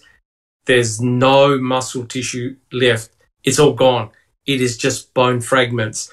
The mere fact that um, Eisenberg described uh, muscle, pieces of muscle that had survived, and that's what Culhane right. used for DNA analysis, indicates to me there's no way that she was cremated in a professional crematorium. Furthermore, um, where's the other 60% of the skeletal remains? They're missing, right? The remember, the entire human skeleton has not been found. Only around about 35 to 40%. The rest is missing, right? No one knows where it is. And if you think about it, does that mean that the torso was dumped somewhere else? Right? Because the torso's got a lot of bones. They hardly found any of the spinal column, right? And the Or ribs no ribs. No ribs. very small, very small, tiny fragments. There's something crazy. And they only found about 35% of the skull, I think, Jack 61, Yeah. if that's correct. They didn't find the entire skull. And they found no teeth, no, no intact teeth. All the crowns were gone. All the crowns were gone. So something really bizarre took place, unfortunately. Hey, Doc, uh, Yeah, to, well, add, to, just, add uh, to, to add to your comment, I'm sorry, Alice, just one brief second. add your uh, your question a few minutes ago about if Scott Tadych was on the property at noon. Dark Side of the Moon put a tweet that Zellner had posted. Um, I don't, um, I don't have a date of the of the tweet, but it says from Kathleen Zellner on 103105, Scott Tadych visited Bobby at the Avery Salvage Yard around noon. That's all it says. Okay. Okay. And and yet two hours or so later, they are alibying each other. Right? That's scary. And yeah, in this book, they said, and I read it already, that Bobby said, I took a shower and I went, um, you can ask Scott Tadych or something like that if he can alibi at where we actually crossed paths because The yes, the time and the place also because we both went uh, deer hunting. When in fact, Bobby then said that he went bow hunting, which refers to geese, not deer. Yeah, No. normally, Uh, uh, no, it's deer as well. It was the first day, I believe, of bow hunting season on deer. Okay. But he also does hunt geese as well. So so he went deer hunting using a bow. Oh, okay. It must be a Oh. sharp bow. Yeah, they're very Oh, yeah. dangerous. Oh, They're yeah. very dangerous. Uh, Yeah, Alice, um, did- oh, one other oh, thing sorry. that they didn't find, Doc, in the burn pit is the ashes. Uh, correct. Yeah. And also, also no Any pyrolysis. ashes. Also no pyrolysis, which is the black goo that you find Yeah. at the at, the- at the bottom that normally will be on the Mhm. bottom layer. Uh, that's distinct. That's organic material indicative that a human being has been burnt uh, in that particular spot. Um, I I know that one of the I know I know there's comments in the chat. I know that one of the law enforcement officers did uh, have a um, a crematorium. The family had a crematorium, but by God, that that's extremely risky to take a body without any documentation, cremate it, remove the cremains, and then transport them back to the property uh, to frame Steven Avery. That's way, way too risky, in my just in my opinion. And if we're blaming Bobby Dassey for having cremated Teresa Halbach, it makes sense that he is the planter of the cremains, but that doesn't mean that law enforcement didn't find cremains at Cars and took them back to the property, right?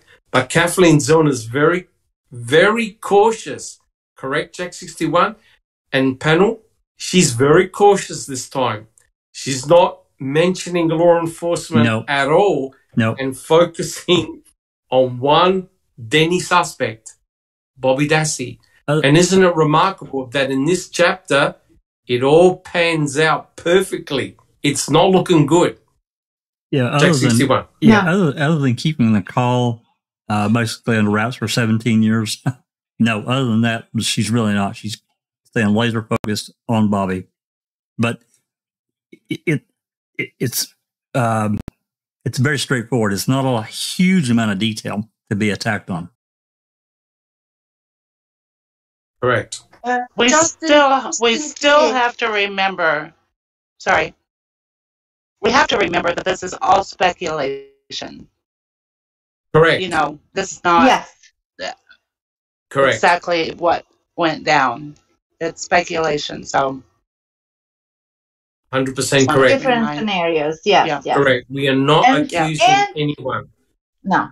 This is the what he thought as the investigator. He spent time and effort to investigate what was happening. So these are his conclusions of uh, Mr. Baetz. We're not saying this or anything. We're just discussing of what we know uh, based on what uh, was written in this book, what Baetz said. That's all. You're right. Thank you, Susan. Correct. Uh, Alice, did you have a comment? Justine J says in chat, she says, you can remove a piece while it is being cremated, you're not allowed to touch a body when being cremated, but it wouldn't stop them. Yeah, I, I, I don't disagree. My feeling, though, is that um, now DeHaan, who's a fire expert, has seen bodies, human bodies, uh, cadavers being burnt in a burn barrel. Uh, and definitely a burn barrel can reach the right temperatures to cremate a human body and convert them to bones, bone fragments. Because what happened to Teresa Halbach is indicative of the use of a lot of fuel, a lot of time, and direct heat, which is exactly have in a crematorium. But you can also replicate it in a burn barrel, no problems. And if you chop up a human being into smaller fragments, that means that there's no problems about the heat getting towards it. But if you pack those um, human limbs with other things as well in the burn barrel, you can protect, potentially protect part of those uh, body parts from direct fire, which means that that would explain why there would be some muscle tissue left over. And the muscle tissue itself was heavily burnt and charred, right? But some of it survived and Culhane was able to extract DNA from it. In a professional crematorium, you're not going to have nothing left but bone fragments. No meat, uh, no organic material. The bones are all dried out. Uh, they're white, they're calcined because of the high temperatures. You're going to have nothing left but bone fragments. And uh, as you know, I'm not not telling any anything that um, Justin doesn't know. They also use a large metal object to crunch the bones.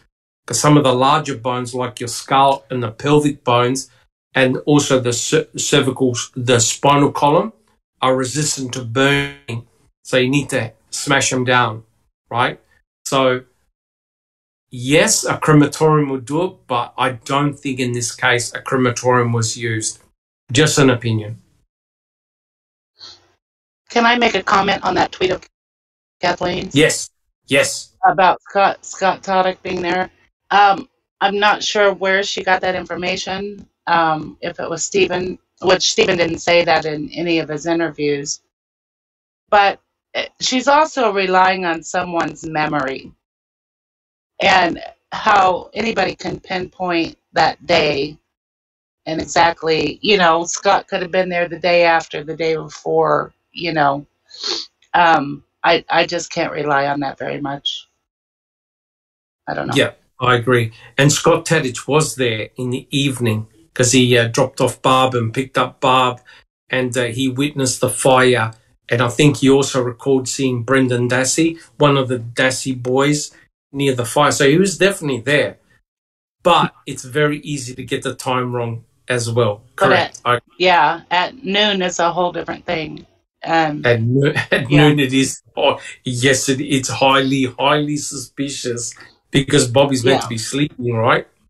Correct. Yeah, and and if you know, if like Steven suddenly remembered that and told KZ, it doesn't mean his memory is accurate for that day. Is all I'm saying. Just being devil's advocate.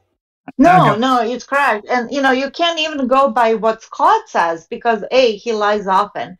B, at one point he said I was there and then he said I wasn't there. Then he said I went to visit his mom, then it or went to work or it proves and it was proven not to be true, at least not the timelines that he provided. So uh, we don't know. We're doing the best that we can. I was going to comment directly to that, Neverly, and, and to actually to what Susan mm-hmm. said too, because here's the thing: the first statement that he made, um, well, he made two statements. One on November 10th, 2005.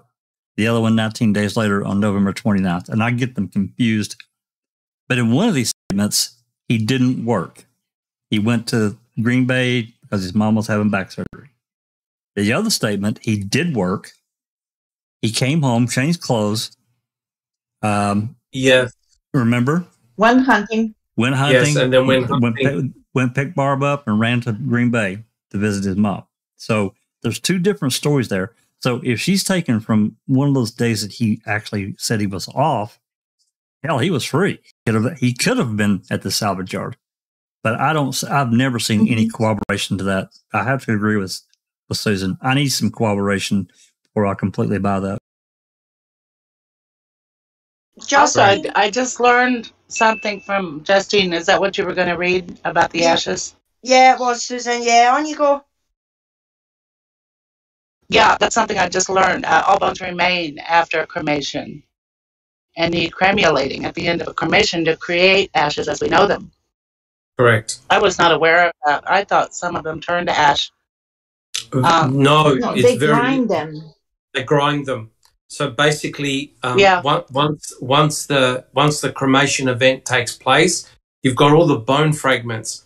They use a big metal prong to crunch some of the larger bones. They scrape them in a metal container. Then they place them in a cremulator, and a cremulator contains, I think, um, iron round balls that help uh, crunch the bones. And at the end of the cremulation, you have a fine dust, fine powder, and that's the ashes that they put in an urn, right? So the Right. bones need to be crunched further down. Correct. But do some of the bones completely turn into these little tiny pieces they found um, Bone fragments. Correct. after Correct. after just being burned? They can just crumble like that. Uh, but no, not not not all the tiny bone fragments that we see are in in the box of bones. In the box of bones, most of those bone fragments are about the size of your thumbnail. I think the largest bone was maybe one or two inches. They were all small bone fragments.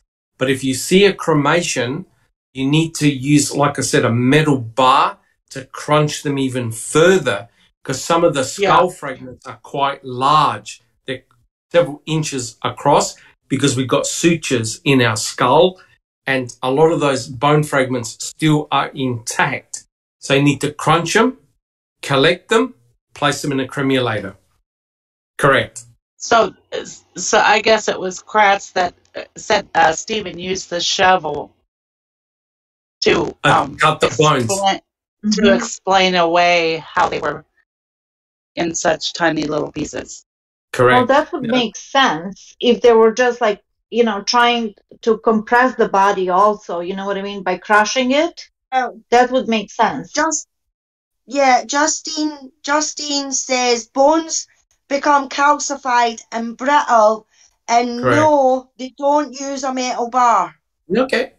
That's interesting. The uh, cremation I videos that I've seen, they use a long metal bar, with- sort of like Ah. it's with a T junction, and they use it to, to crunch. But you're correct. If you have a look at some of the bones that were recovered uh, of Teresa Halbach, some of them were white and calcined. Others were a different color.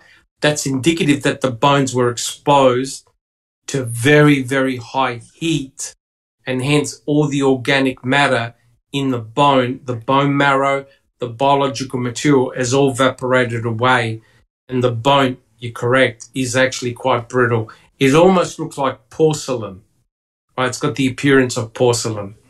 Correct. I have one comment, and you know, I don't. Nobody hit me. I, I wear glasses, and uh, I have birth, my birthday tomorrow, so I, no hitting. I'm just throwing this out there. Occam's razor time, and where we're located at, and where a lot of this material was, and knowing that there was a rock crusher right there. Just saying, crusher. Yes. Yes.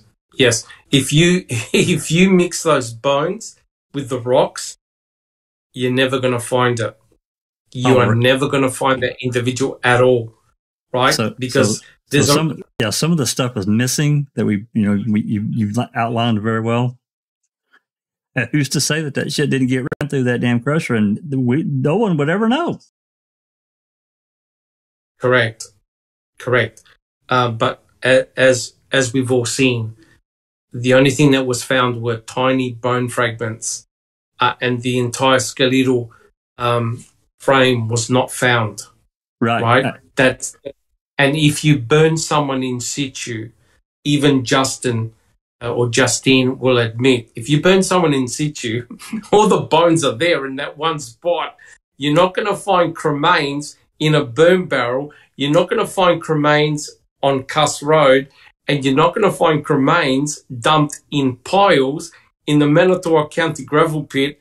All the cremains are going to be in situ in one spot, right? So there's something weird going on with those cremains. And another thing, Doc, uh, correct me if I'm wrong. There was no real odor uh, to those remains, from what Eisenberg reported. Is, is that right? Uh, can you say that again, Jackson? There, there, there, was no real odor to the cremains that Eisenberg. That's correct. Hmm, that's correct. And furthermore, they found no rubber residue, right? Because the state was saying that Teresa Halbach was co-burned with tires. They found no rubber residue or smell of rubber or um, petrol, gasoline, or something like that on the cremains, which is very, very interesting. So there was no distinctive odor nor rubber uh, residue. Correct.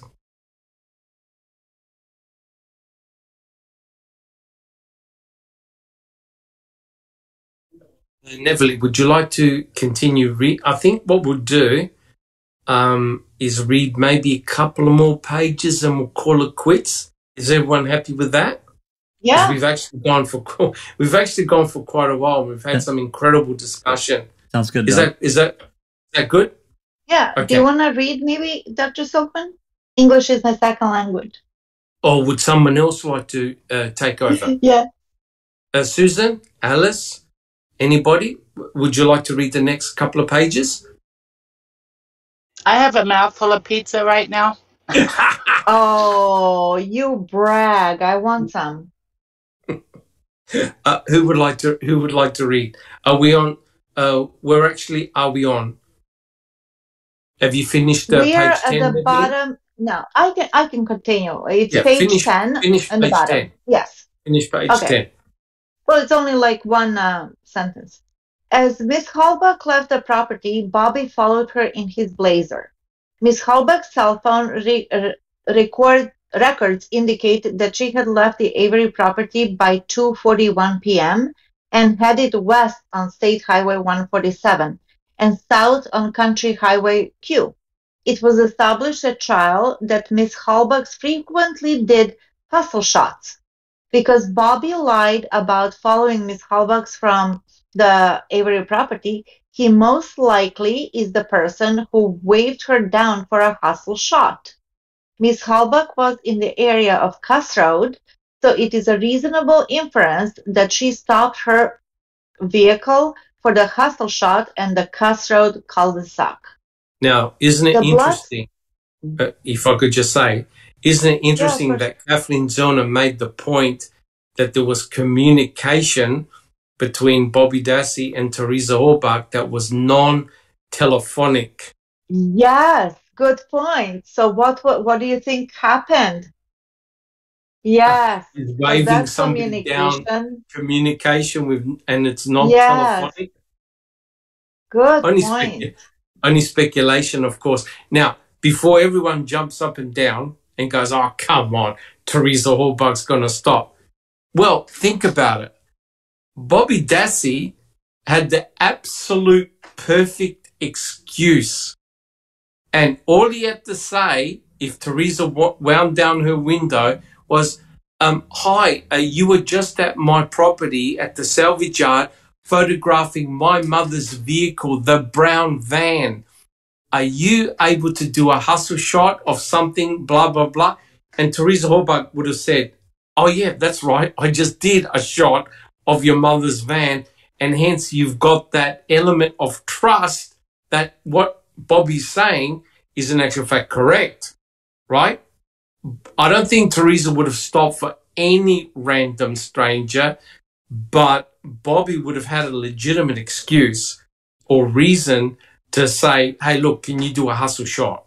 And uh, correct me if I'm wrong, guys, but Teresa Halbach used to do plenty of hustle shots. Oh, absolutely, she did. Yeah, because she paid like eighteen dollars versus eight that she would go if she got it through Auto Trader. Correct. Correct. Yeah. Okay. Do you, do you, would you like to finish the page? Sure.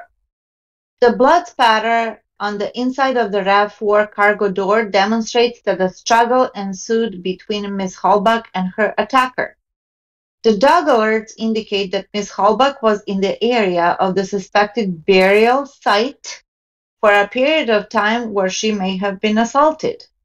The scientific testing by Zellner's crew of world-renowned experts validates her position that the killer put Teresa's unconscious body into the back of the Teresa's vehicle and drove the sports utility vehicle back to Avery Road near 4 p.m. The hair bloodstain patterns were created by Miss Halbach being placed in the rear cargo area of the RAV4 and her injured head bouncing on the inside panel as the RAV4 was moving. It is a reasonable inference that Miss Halbach and her vehicle were brought back to the Avery salvage yard after she left the property the first time. There are two supporting eyewitnesses who back up her theory. One individual is John Lurquin, who was a propane truck driver for Valders Co-op, who spent time on Avery's property on Halloween. He was called as a defense team witness by Strang and Buting. He testified matter-of-factly that a vehicle similar to Miss Halbach's drove past him at 3:45 to 3:50 p.m. Mr. Lurquin was uncertain whether the driver was male or female or which direction the vehicle turned as it exited the Avery property.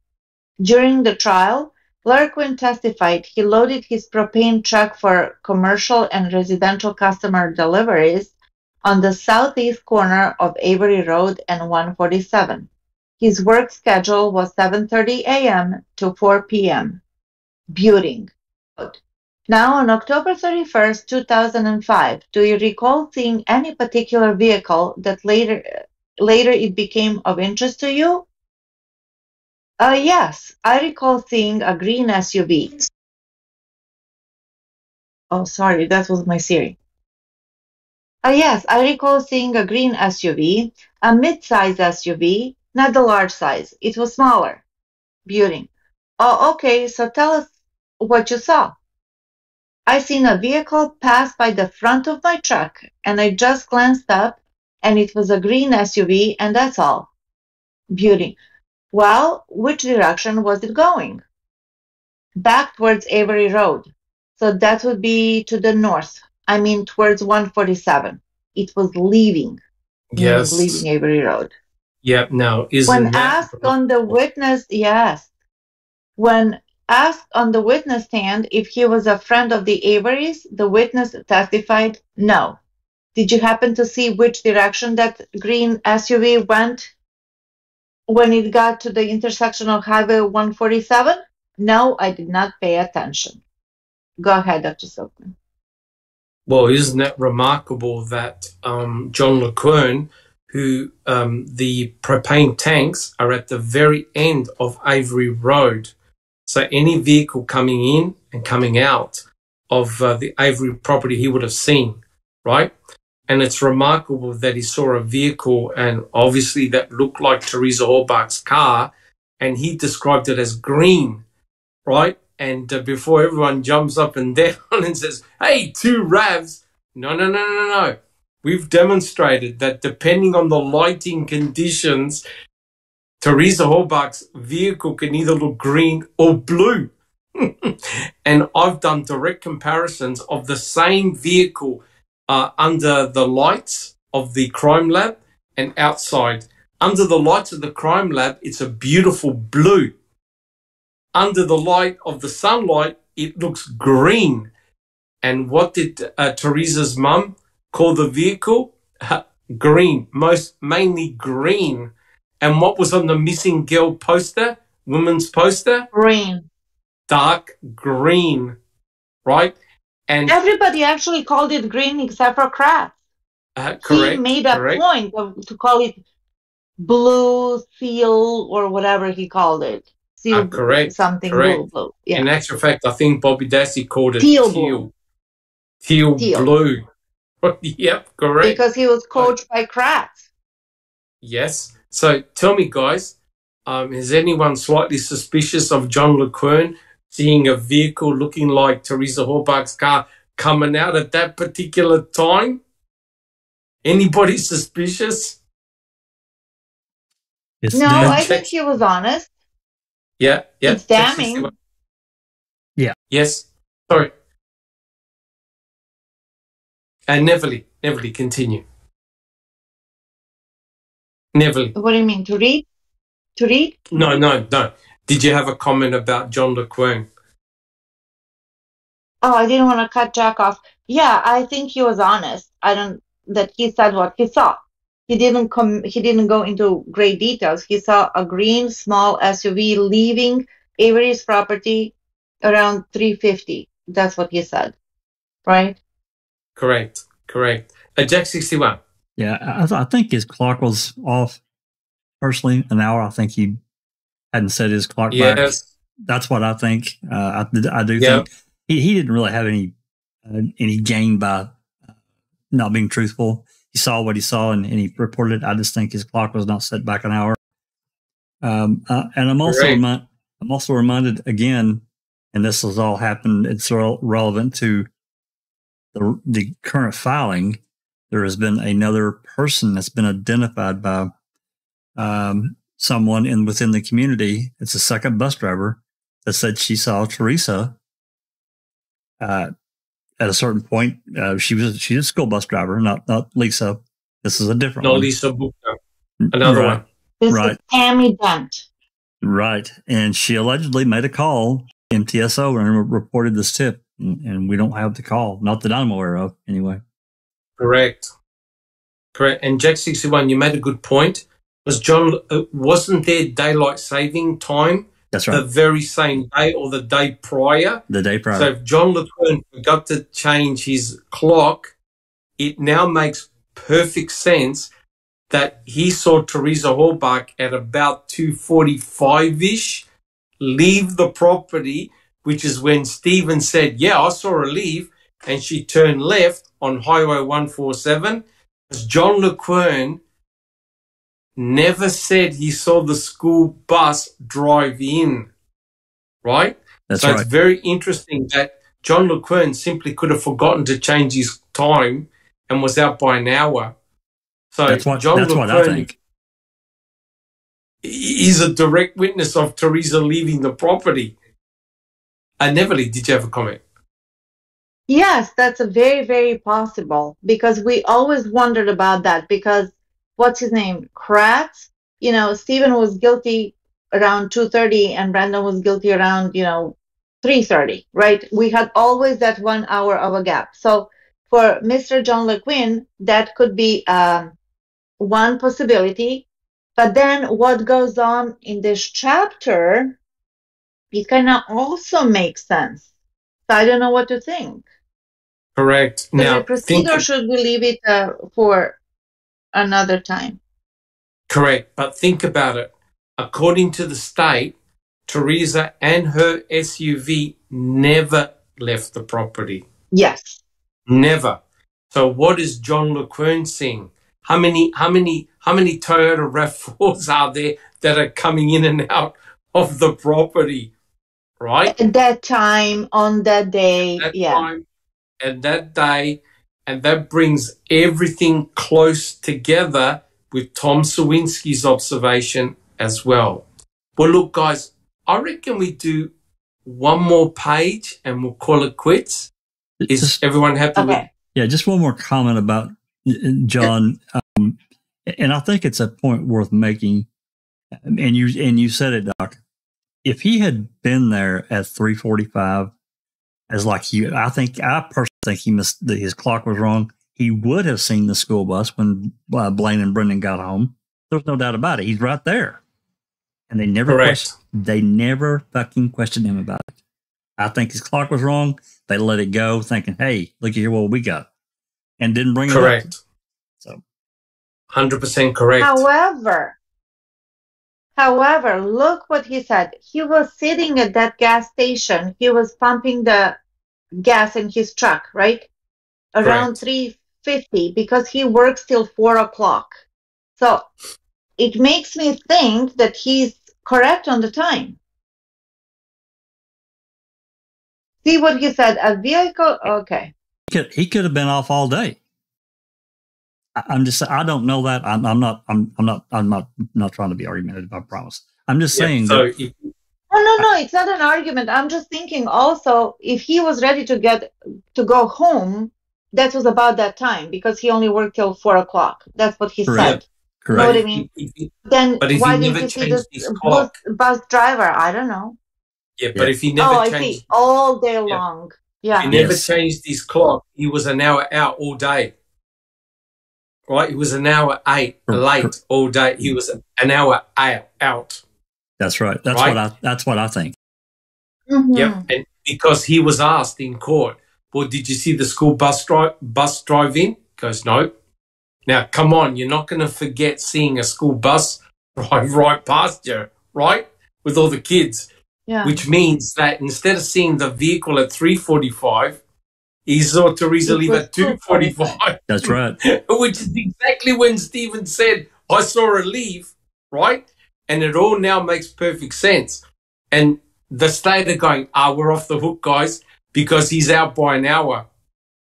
But in actual fact, he may have had the time incorrect on his watch because he forgot to change it, right?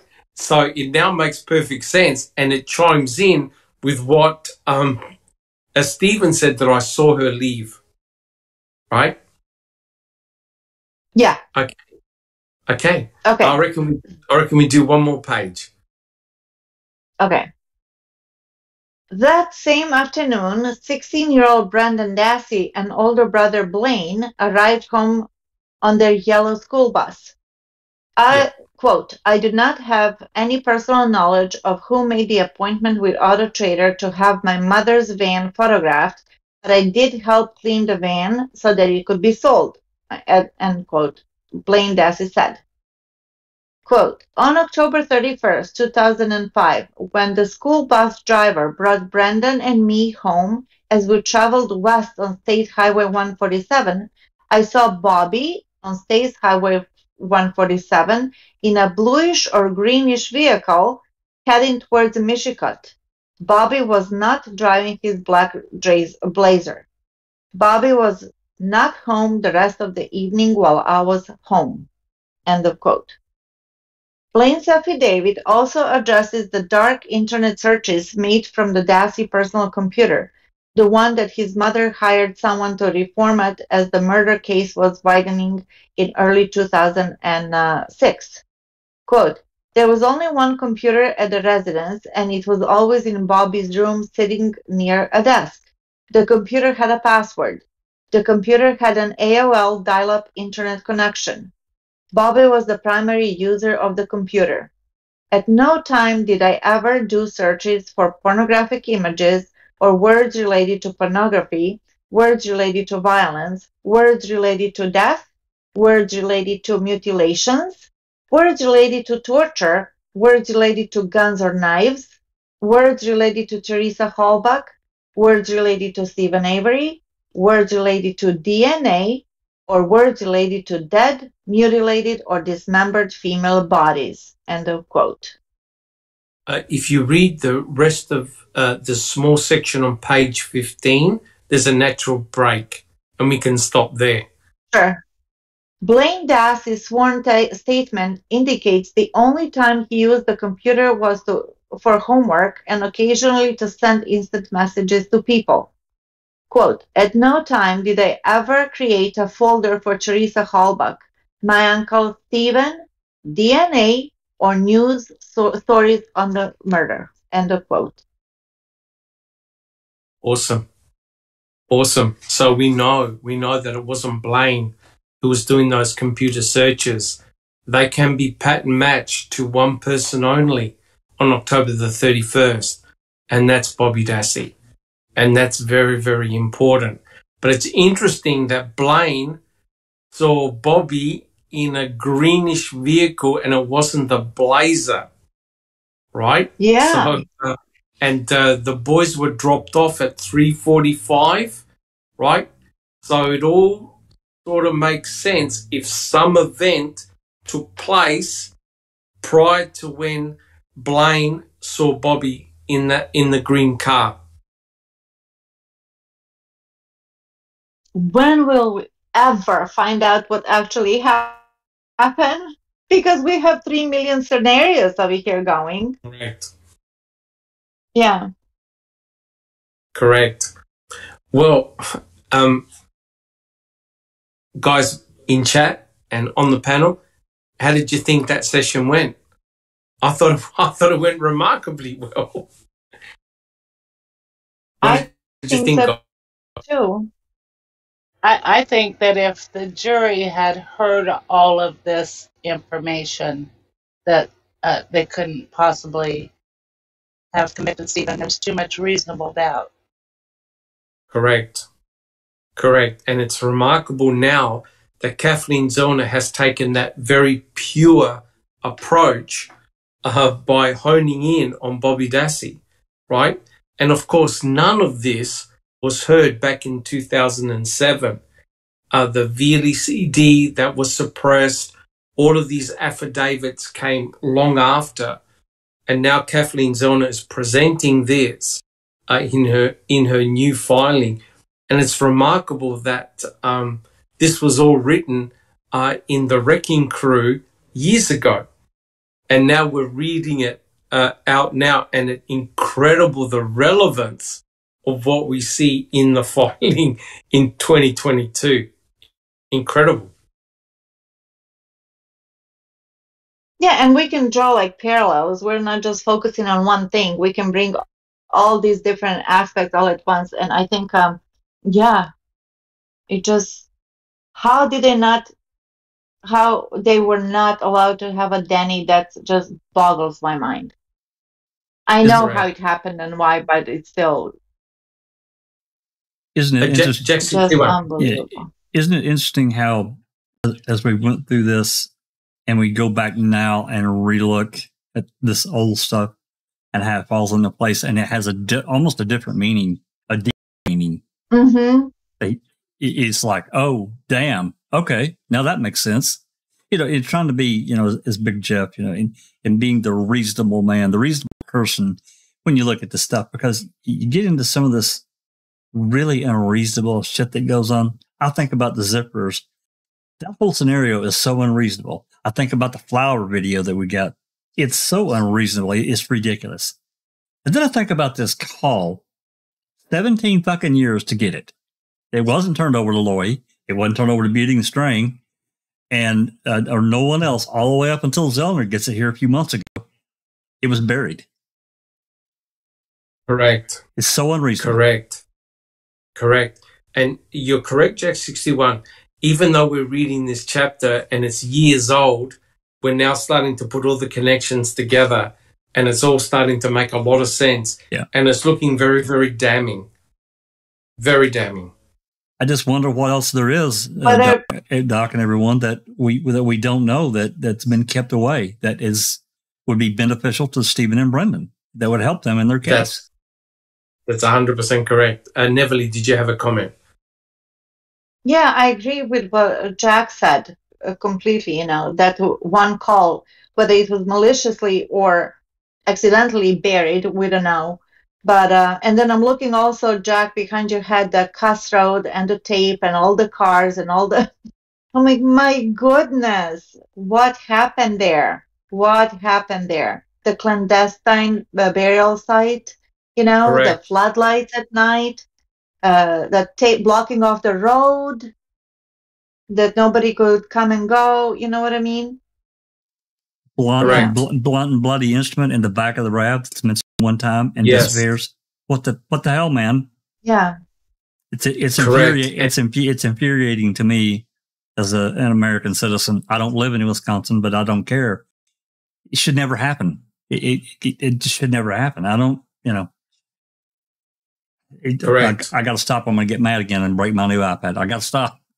breaking you you don't want to do that but uh, the remarkable thing is that a story can be told right when you see the the pattern of the blood on uh, the the back door uh, showing that the blood hit at 90 degrees and dripped down the blood never went in the direction where Teresa Halbach was flung uh, in the back of her uh, vehicle the fact that there's blood on the plastic uh, wheel well inside the trunk. The, uh, the, the trunk of the vehicle indicates that her head was rolling around, which means that the vehicle was in motion. She was being Yeah. driven. She was being driven somewhere. But the and the carpet fact was that the, the carpet was clean. the carpet was clean, which indicates that it was removed. It pristine and clean and removed, right?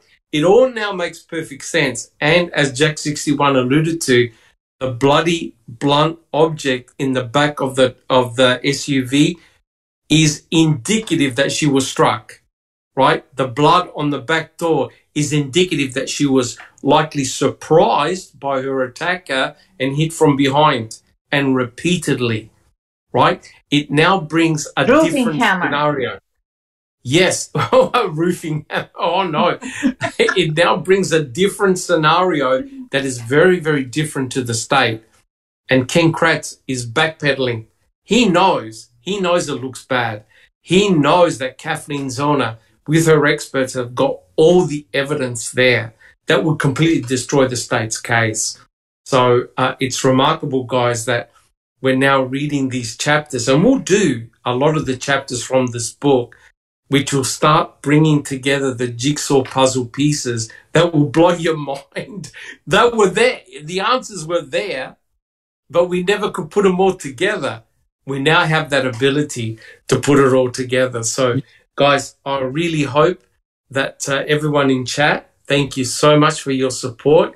It's good to be back, and hopefully, you enjoyed the format. And thank you, Neverly, for that excellent read. Um, and we'll oh, thank you for your help. Nah, not at all. We'll be back uh, next week to do it all over again. So, guys, if we can just have a quick, quick closing statement, uh, how you're doing, how things are coming along, and uh, then we'll close the podcast. And Neverly, would you like to go first?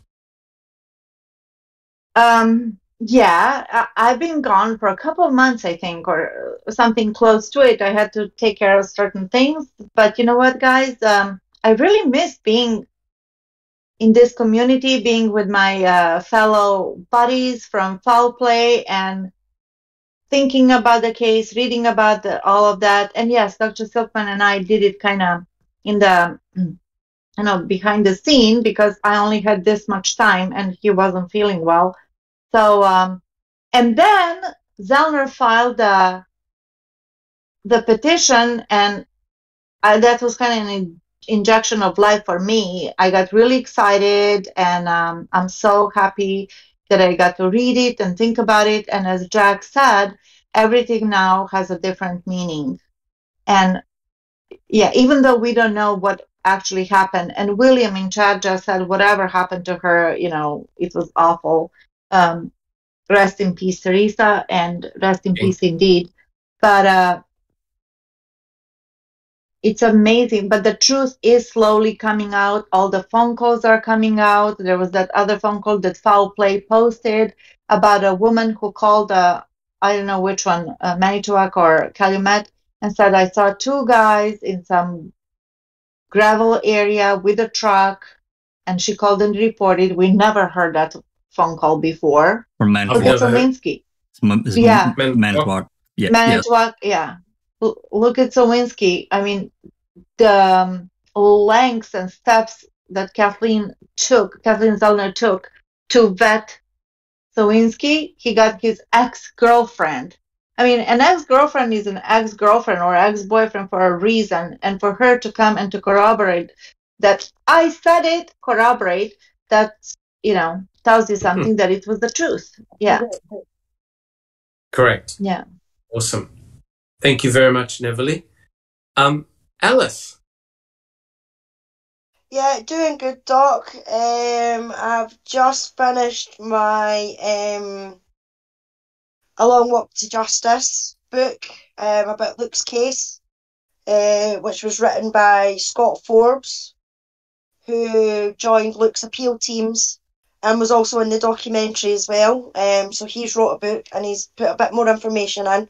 So I've finished that, and I'm I'm going to maybe see if I can get him to come on my channel and talk about it. Fantastic. Um, we've also had Mary B who's joined us in chat. Um, she says that she's a newcomer and she's been looking for Welcome. uh, good people uh, who uh, talk about the case. Um, and she's came across us tonight. So welcome, Mary B. She's like, do you guys have a reading of the last case file? Like all of it. I started another one, but it is three and a half hours long. I'm only halfway done. Yes, we do. We read it. You'll find it on the channel. We read it. We discussed it. Um, and uh, we read it completely without really discussing much. But then there's other videos there that we've actually discussed the whole thing by section by section. So you'll find that on the, the, the channel as well. Uh, please do go and have a look. And they're probably just as long, if not longer, because we say we go for an hour or two and we end up going for four. So it could be the same length or a bit longer. So please Correct. enjoy. Um, like, share, subscribe, all the YouTubey things, and thank you to everyone in chat and panel. Fantastic. Thank you. And just echoing that uh, for especially for the newcomers, welcome very much. If you go to our Discord channel, uh, our YouTube channel, and also our library, uh, you will see that we have uh, accumulated a huge amount of resources, all free, all for you to do your own research. And, uh, you know, God bless you. You're You're really going to be lost because there's a huge amount of stuff there. A lot of good work has been done. Please enjoy. Uh, I don't recall. What about yourself? I'm doing well. I, ever since the we uh, finished going over the motion was it Thursday night, Travis had um, really focused on the State v. Wilson case, so I've been going over that, and I'm anxious to see, you know, it, how, how if we apply the tests that they used, how what we all think how it applies to you know her current what she what she points out in her current motion Yes, to the facts of Steven's case. yes, yes. Um, uh, absolutely. I mean, I'm not strong on the legal aspects, um, but Travis is. He's a he's an uh, an attorney. He's an attorney, Mhm. Travis. I take, and also I don't recall you're you're in the legal profession as well, right? I am um, I am Yep. an attorney, but I'm new. I'm new. I've only been doing it a little over two years, where Travis is like thirty something years. So Yeah. yeah, Correct, correct. And uh, again, again, we're so fortunate to have you on the panel as well, uh, and that that's why I think we're so lucky in foul play that we have representatives from all over the place. Uh, my own background is in DNA, molecular biology, and we have also um, people in the law profession, and that's pretty powerful to be on a panel, and that's incredible. Thank you. I don't recall uh, any other any other comments. I don't recall. no, no, that's that's all. Thank you. awesome. Awesome. Uh, Susan, what about yourself? Oh, I'm doing really good. I, I I have a lot of hope with this new PCR. Um, I- know Wisconsin, and I know how you know shady they are, but it's going to be hard for them to get around an evidentiary hearing on this, and I I, truly believe um, they they can't fall back on um, procedurally barred. Um, I'm just very hopeful that that's going to happen. Now, once it gets to an evidentiary hearing, you know, that's another hurdle to get past because they'll do Right. everything in their power, I believe, to, Oh yeah, you know, to quash it. But um, still, it's good to have Yeah. hope. hundred and. I have that. Yeah. And I just wanted to tell Mari B that um, the last two open mics that we did, uh, where, where we go over Kathleen's new uh, motion, the we did it this past Thursday on the 25th, and then the Sunday prior to that um, is the first uh, part of it. So those are two really good ones to listen to because we read it as well as discuss it as we go. So I would recommend you looking at those. Thank you, and welcome to Foul Play. Come into Yeah. Discord, you'll love it. Yep. And uh, just to answer Murray B's question, there are really two unknown DNA samples that we know about. Um, CX, which is blood that was found at the quarry. It doesn't belong to a Dassey. It doesn't belong to an Avery. And it's a male profile, a full male profile. We have no idea who left their blood in the quarry. And the quarry just happened to be the area uh, where uh, some of the remains were found, right? No one knows who CX belongs to. And the big one, the big one, the blood on the victim's vehicle, A23. We don't know whose DNA that belongs to.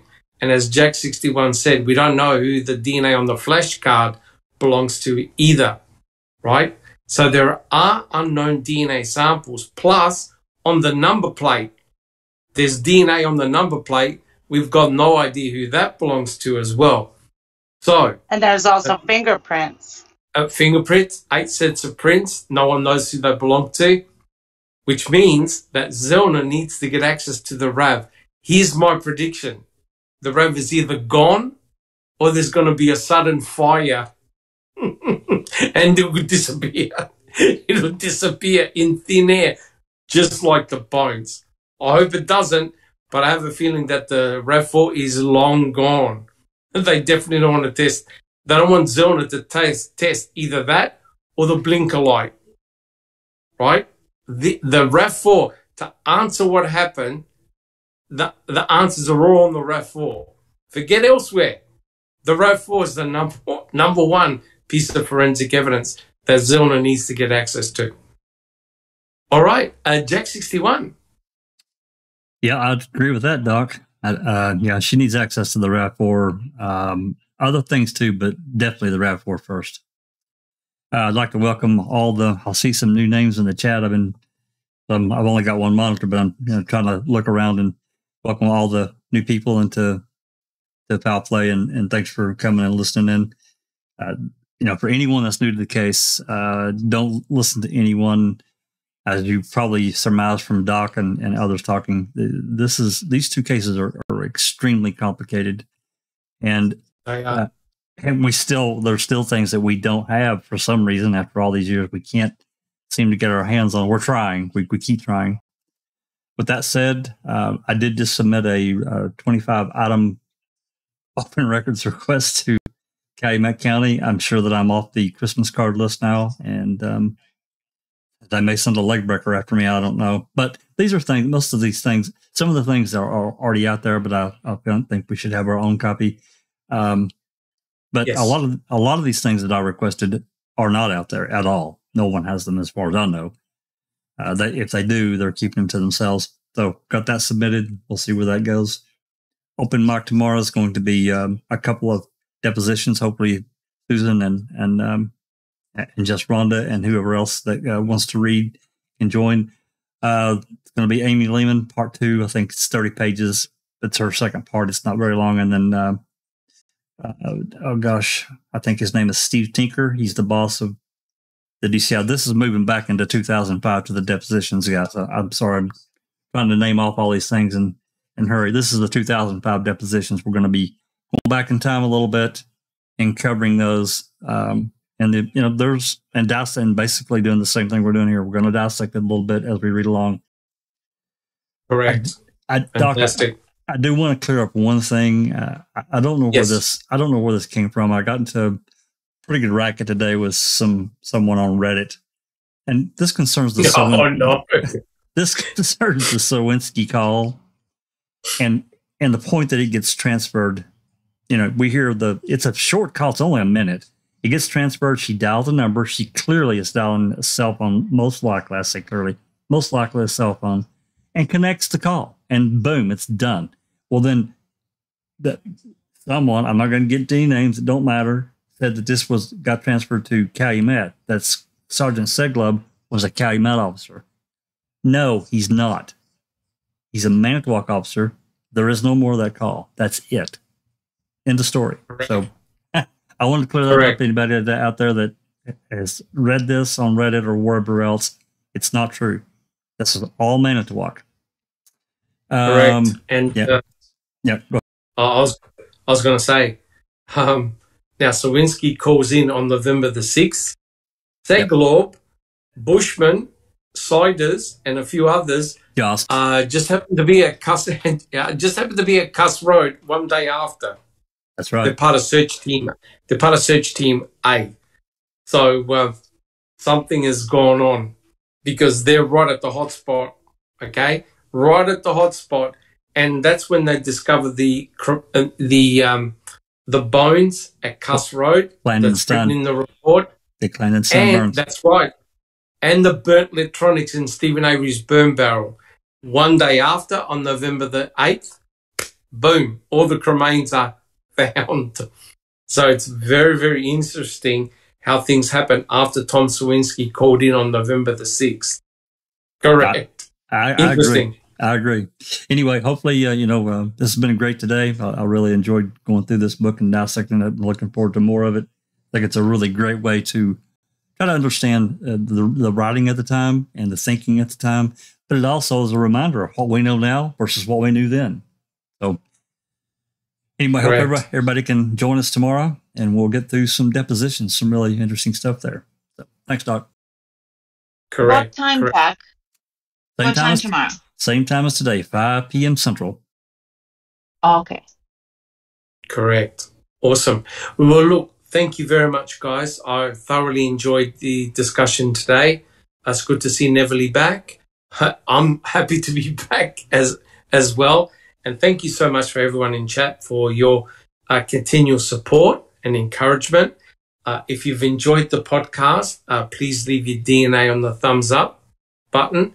And guys, we'll all catch you next week for this uh, continuation of this series, Reading with the Crew. Thank you so much. This has been a Foul Play production.